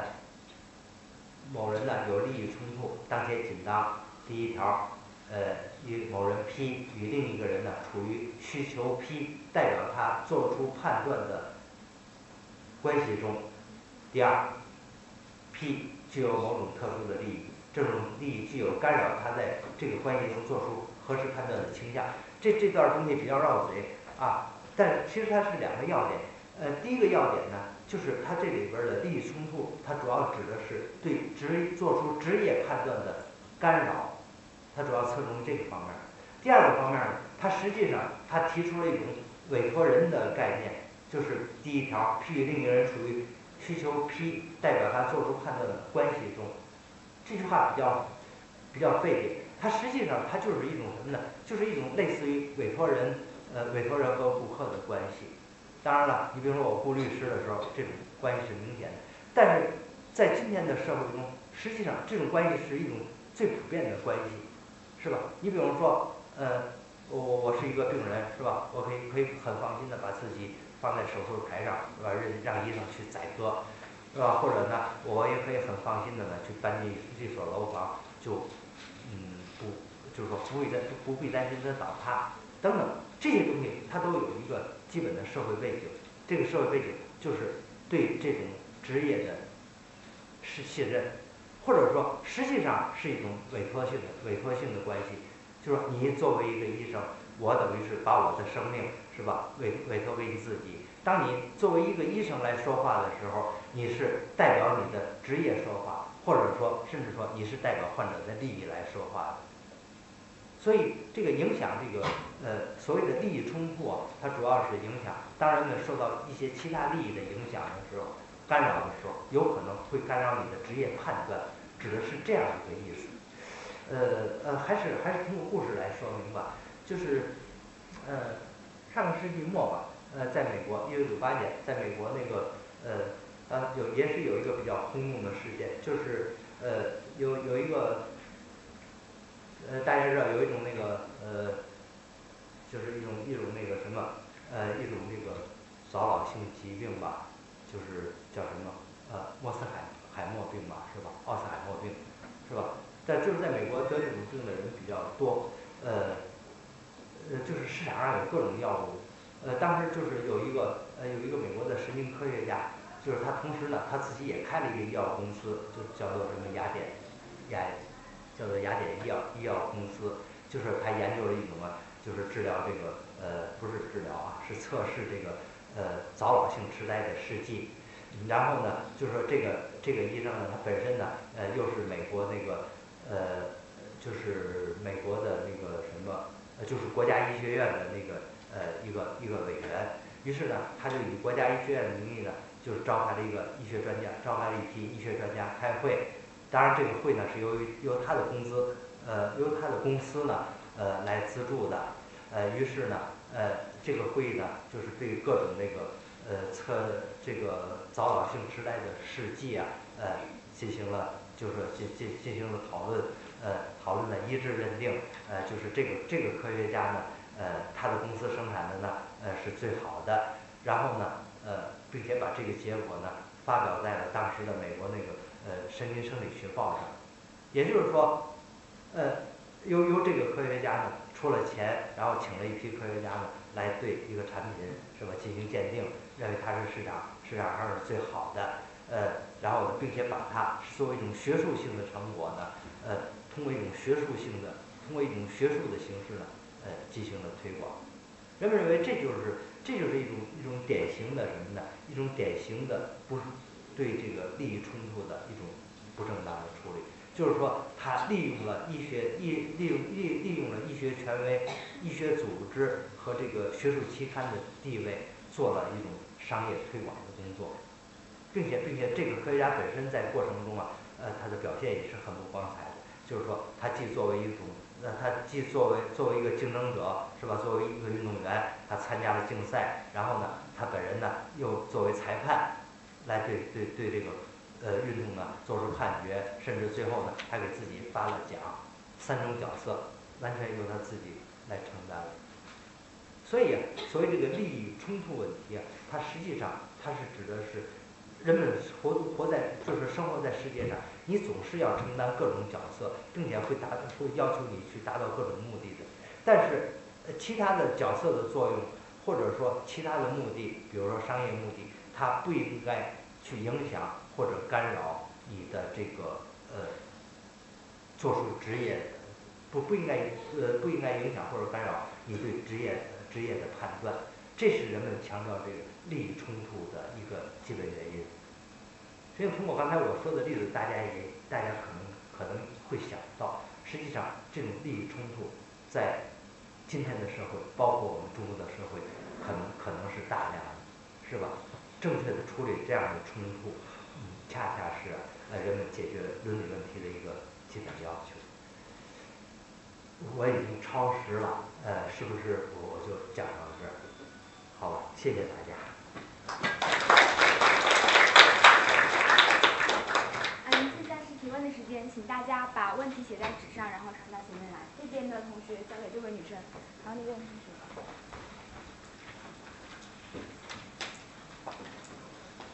然后这边同学可以可以交给那位女生。嗯，然后刚才讲座之前，老师跟我好，我先把问题念一下啊。早两年，北京美医院出现某医院出现过一件事儿，一位难产妇女的家属拒不同意在呃。刮宫手术执行同意书上签字，医生无法实行手术，难产妇女死亡。呃，医学伦理学课的老师就这个事件给我们出了一个题：当我们处在这群医生的位置上，在病人家属不同意手术的情况下，为了挽救病人的生命，呃，我们会如何选择？呃，我当时的回答是按规定办，但是这个问题一直在拷问我，呃。是是规定重要还是病人的呃生命重要？对，这就是这就是一个一个一个伦理伦理冲突问题，是吧？呃，我我我我觉得这个确实是个确实是个难题。嗯，你要问我问我怎么办？可能我要是作为一个医生的话，我也是要按规定办，因为因为你要是超出那个规定，你很你很可能是。你不仅要负道德责任，甚甚至你可能会法律责任的。所以，所以什么呢？所以就是说，就是说，在这种情况下吧，他应该是，就是说，首先应该尽量的把这种问题吧，比如说，呃，通过讨论的方式啊，来那个什么来解决。就是说，既增加这个医生和病人之间，和病人或者病人家属之间的沟通。是吧？甚至他可以通过伦理委员会的工作，呃，但是，但是这个知情同意这个签字，我想是是是一定是一定要履行的，这个至少在现有的制度下，呃，没有办法，我们只能通过这个例子作为反面的东西呢，来试图改进它，但是在现在恐怕恐怕还不能突破它，我我不知道我这样回答是不是是不是能够能够使你满意？确实啊，这样做的话，可能医生会很不安的。但是他，但是他这里边他还涉及到另外一个问题的，就是说医生有权利替病人或者家属做决定吗？这这就是那个你们那个医学生命医学伦理课里边讲那个家长主义，是吧？有一种家长主义嘛，那那那个问题的弊病，就是现在现在人们比较多的倾向于反对这种家长主义的，也就是说，也就是说很多的治疗方案，我们不能不能否认病人。和病人家属他本身的发言权，医生本医生并非占有绝对优势的地位。有一次我我就我去带我的小孩看病嘛，那个那个医生就很什么，他就在训斥一个病人，你你你不要乱插嘴，你知道你哪疼吗？你知道你还某某某某时候你还可能出现什么症状吗？我我我不我不问你的时候你不要说，就是说你哪疼你怎么样，我比你知道的更清楚。这这就是那个所谓典型的家长主义嘛，是吧？现在现在人们可可能是更多的来提倡这个专家和这个什么的，甚至即使是外行之间的平等的对话，就是共同解决解决这样的问题，好吧？谢谢你的问题。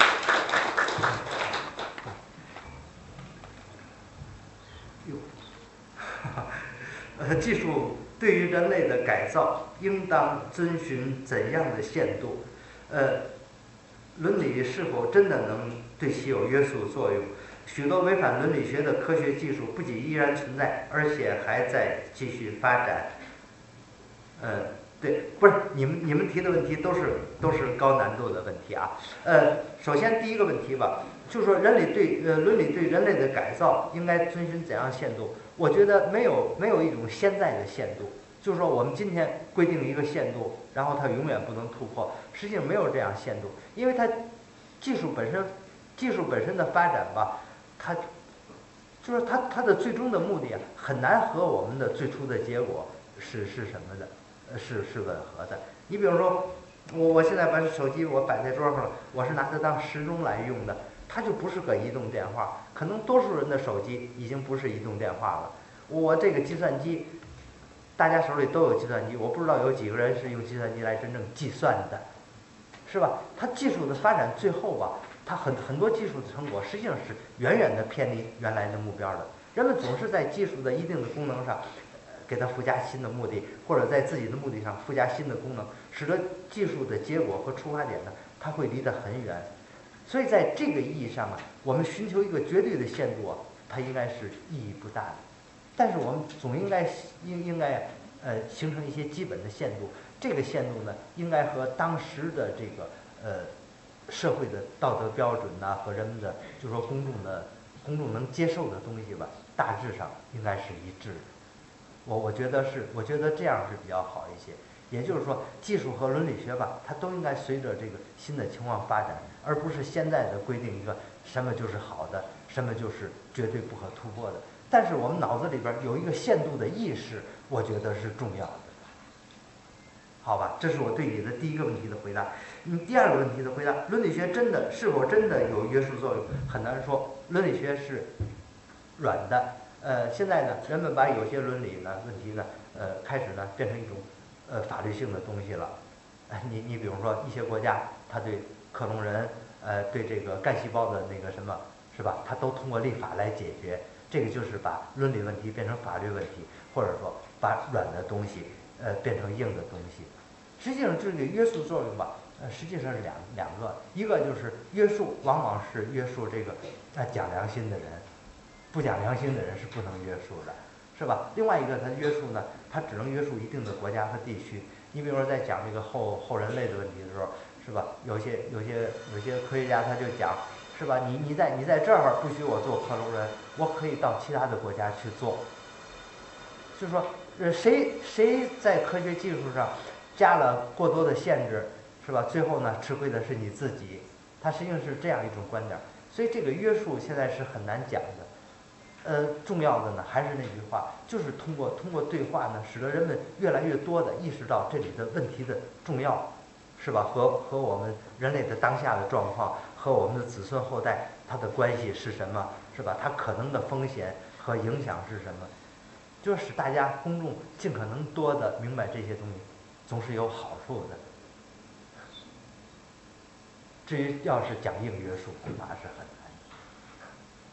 好吧？嗯，谢谢我，我不知道这个，对，我，对我我我提出来的那个什么，你们可以反驳啊。我我主要是，其实我今天很多东西都是没有句号的，是希望和大家来讨论的。嗯，既然技术伦理与资本有矛盾的一面，那么在贫富不均的资本分配事实中，呃，技术伦理是否会对贫富地区、呃，民族国家造成不平等的影响？呃，关于这个问题啊，呃，现在的就是说，呃，人们注意到的什么？你比如说，呃，一九九九年，呃，就是世世界科学大会那个宣六条宣言里边，其中有一条就是说，呃，科学家们，呃，科学家应该把这个，呃，消灭这个地球上的贫困，呃，贫困、饥饿，呃，和疾病，是吧？作为自己的一个一个基本任务，就是说，呃，科学家们应该积极的那个。关注这个呃，像这样的不平等和不不公正的问题。呃，二零零二年在上海开的那个第二届世界工程大会的世界工程师大会的宣言里边，也有也有类似的话，就说现在现在人们呢，呃，一个方面是意识到这里边存在着问题，呃，第二就是说这里存在着问题，有些是根本性的，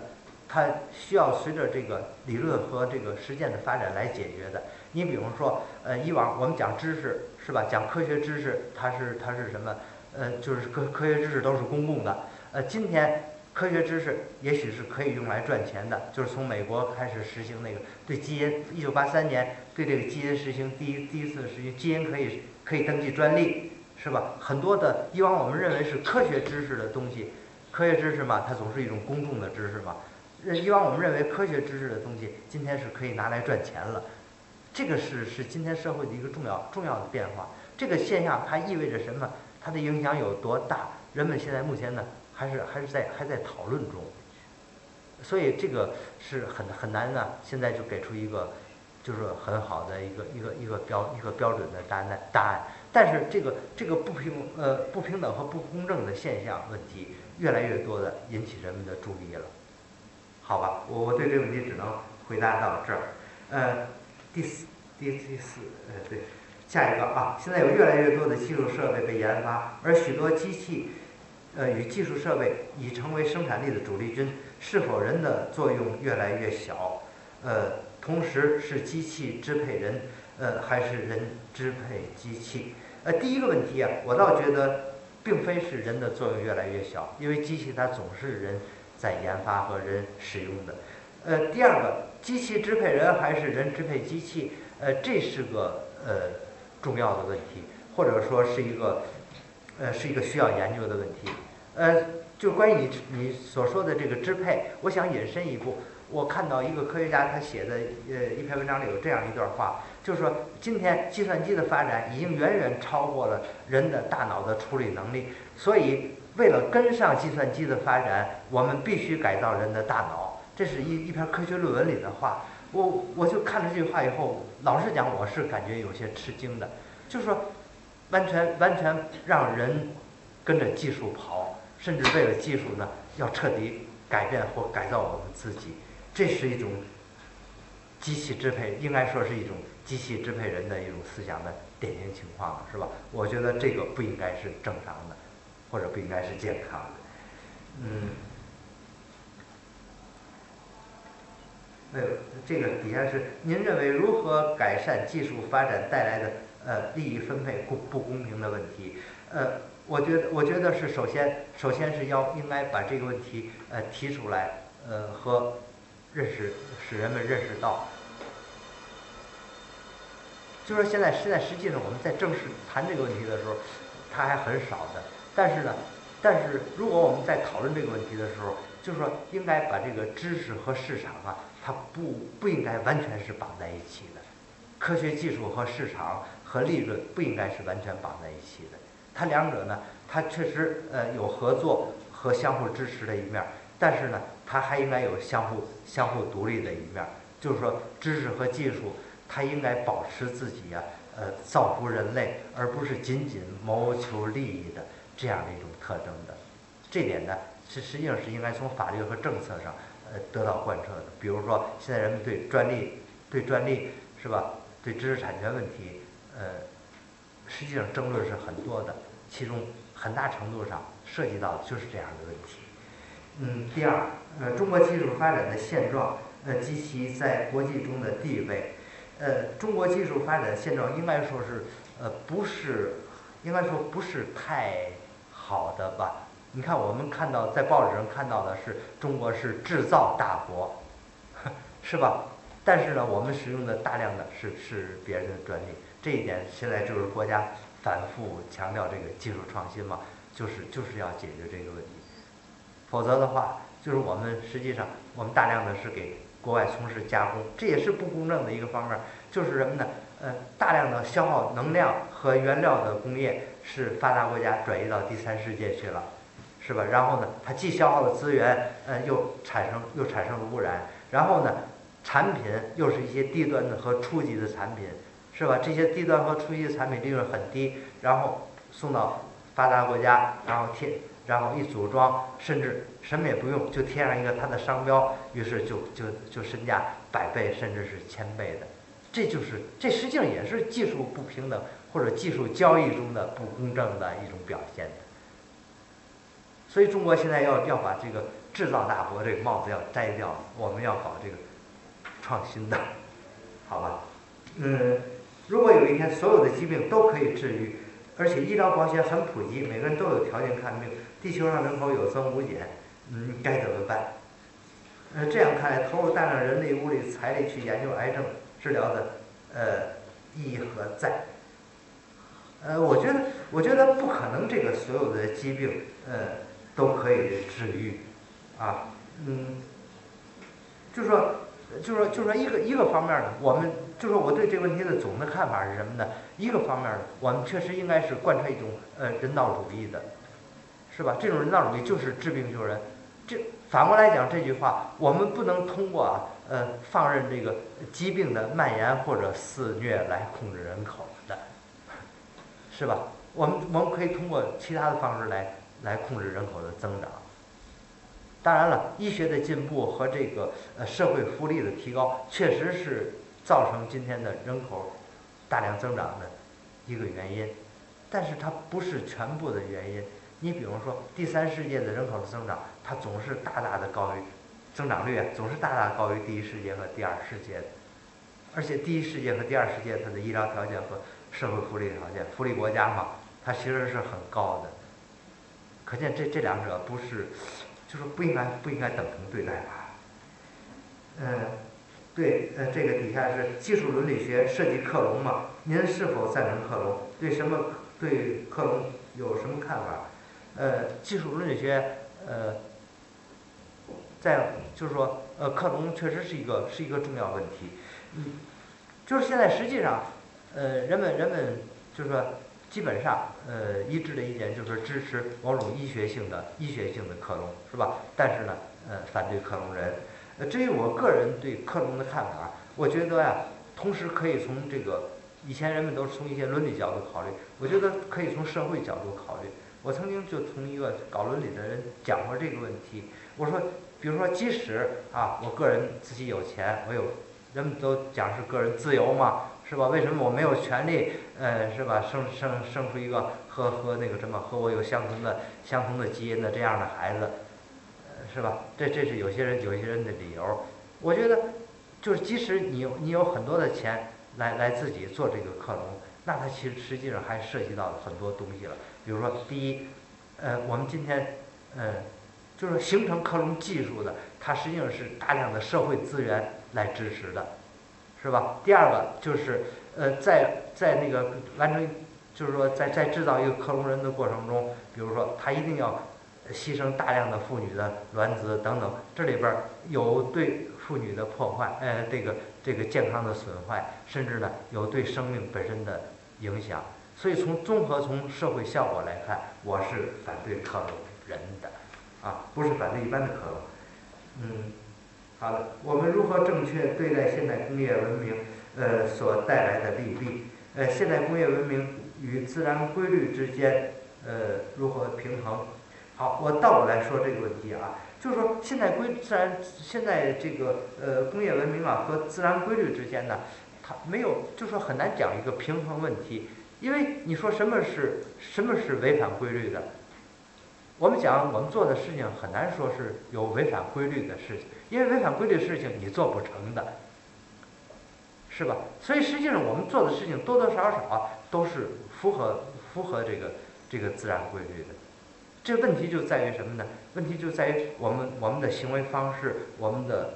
呃我们的这个活动规范，是吧？它是呢，它是好的还是坏的？而恰恰在这一点上，就显示出我们说的这个技术、科学技术和伦理学，呃，它的它的结合结合点了。你说，你说，你说是什么是违反自然规律？你比如说生态平衡，它造成造成呃造成荒漠，实际上形成荒漠这也是自然规律，是吧？甚至一个荒漠，它也许就是自组织的，呃，它一个稳定点。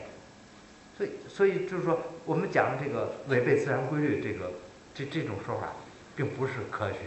很多很多，就是我认为是好的或者坏的这个结果的造成，它肯定都是有规律在起作用。是吧？关键是人的人的行为，我们如何对待现代工业文明呃所带来的利与弊？就是说讲呃讲科学技术伦理学，呃首先是认清认清这些东西，然后呢，我觉得重要的还是我们最后强调的，就是说运运用运用我们的呃运用我们的实践智慧，尽量的是呃呃，就是说尽量的是使这个好的方面发挥出来，使坏的方面呃得到避免。但是完全就是就是只要好的结果和完全没有弊病这样的东西，可能可能是不可能，呃，大概是不可能的。嗯，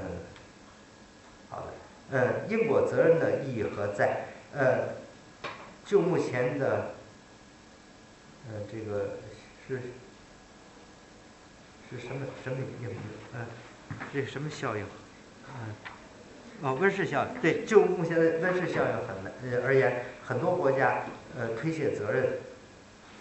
呃，使整个这个呃今使全球变暖问题迟迟呃悬而不呃悬而不解。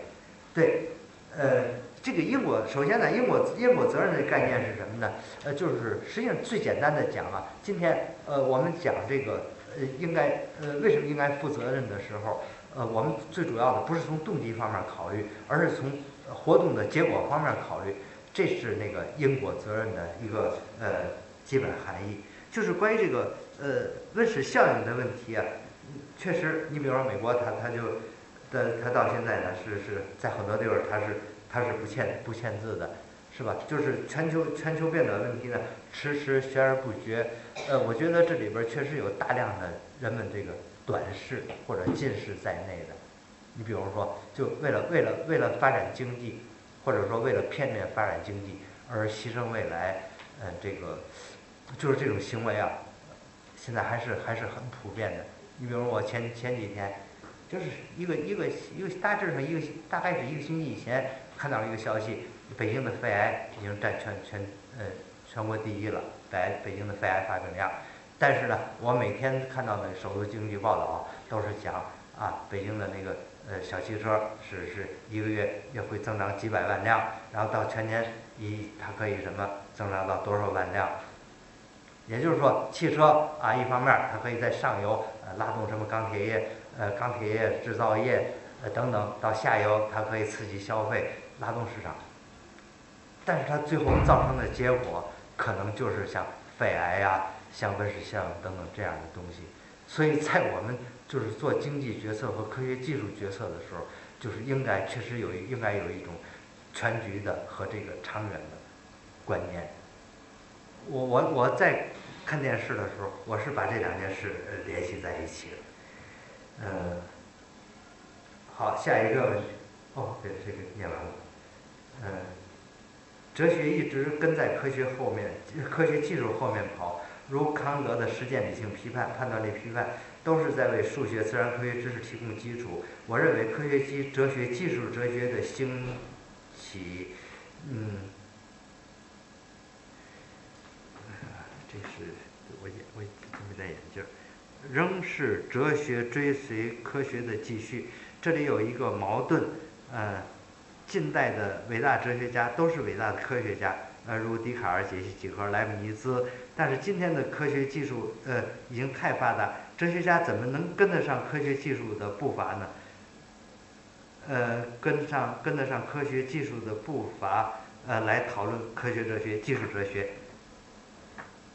好的。呃，就是这个，这个是是这这个问题提的是对的。我曾经就是我们在讨论这个，就是培养这个科技哲学博士生的时候，我我就讲过这样的话，就是说，它实际上是很难的，因为科学技术哲学的博士生他要求两个，就是一个他要求能够跟上科学技术前沿的发展，至少他要懂一门自然科学，而且要能够讨论这些问题，通过对话来解决问题，应该是一个好好的方法。比如说我们在。写那个工程哲学的时候，就是和中国工程院一起写的，是吧？在在讨论那个工程技术伦理问题的时候，也是把问题提出来，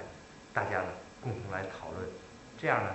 可能可能在就是说对哲学和对科学对技术，它都是一个促进，好吧？这这个问题可以这样回答了，嗯，嗯，好了，没没有了。谢谢谢谢大家的问题啊！我我倒希望听到一点一点反驳，其实有一个。呃，老师刚才在讲座之前跟我们交流的时候说，特别希望跟大家有面对面交流的机会，所以说现在最后大家还有没有什么问题想当面问老师的，现在也可以提出来。对。哎，好，你好。朱老师，那个我想问您一个那个跟这两个题目没没有关系的，是关于一个哲哲学的问题。就是在西方哲学史里，罗素把哲学说它有两个特征，第一个是传统的宗教与伦理观念，第二个是科学的研究。他还说在不同哲学家心里，这两者的比例是占是不一样的。那我想问您，在您的心里这两者的比例是什么样？然后想问问你，科学与哲学的关系，到底谁去驾驭谁，或者谁从属于谁？您能不能解答一下？好，谢谢。呃，我要从我个人的实际上，在过去吧，比方说呃二十年以前，我是更倾向于科学的。现在呢，我多多少少吧，呃倾向于哲学的。这可能跟也许跟工作有关系啊，你比如说我准备就是哲学研究嘛，全国最高的哲学杂志，它哲学专业性非常强。当然我的侧重点在可能可能会向这个方向转移，它不一定和哪个优劣呃有关系。呃另外一个就是在科学和哲学之间，不应该有谁呃主摄谁的就说就说哲学哲学它如果它作为一个独立学科，它应该有自己的语言和问题。它就说哲学和科学可以对话，但是哲学和科学之间恐怕没有一个谁取谁最终能够取代谁，或者是谁谁能够什么的，呃谁在谁之上的问题。以往吧呃以往我们总是讲好像是哲学去指导科学，这这种这种提法是错误的。那哲学根本就不可能去指导。另外一个方面儿就是说讲科学科学呢，哲学只能跟在科学后边儿做总结是吧？做概括，其实这观点儿也应该说是片面的。我觉得他们应该是呃呃就是说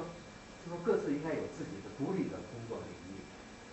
是吧？可以通过对话和什么的呃共同促进或者是共同发展，而不是试图一个驾驭个或者是一一个支配一个。好吧，谢谢你们啊。嗯，请问还有朋友还还有要提问吗？嗯大大家如果有什么问题也可以私下和老师来交流，那我们今天的讲座就先到这里结结结束了。呃谢谢到场的各位听众，然后谢谢朱老师。好，谢谢大家。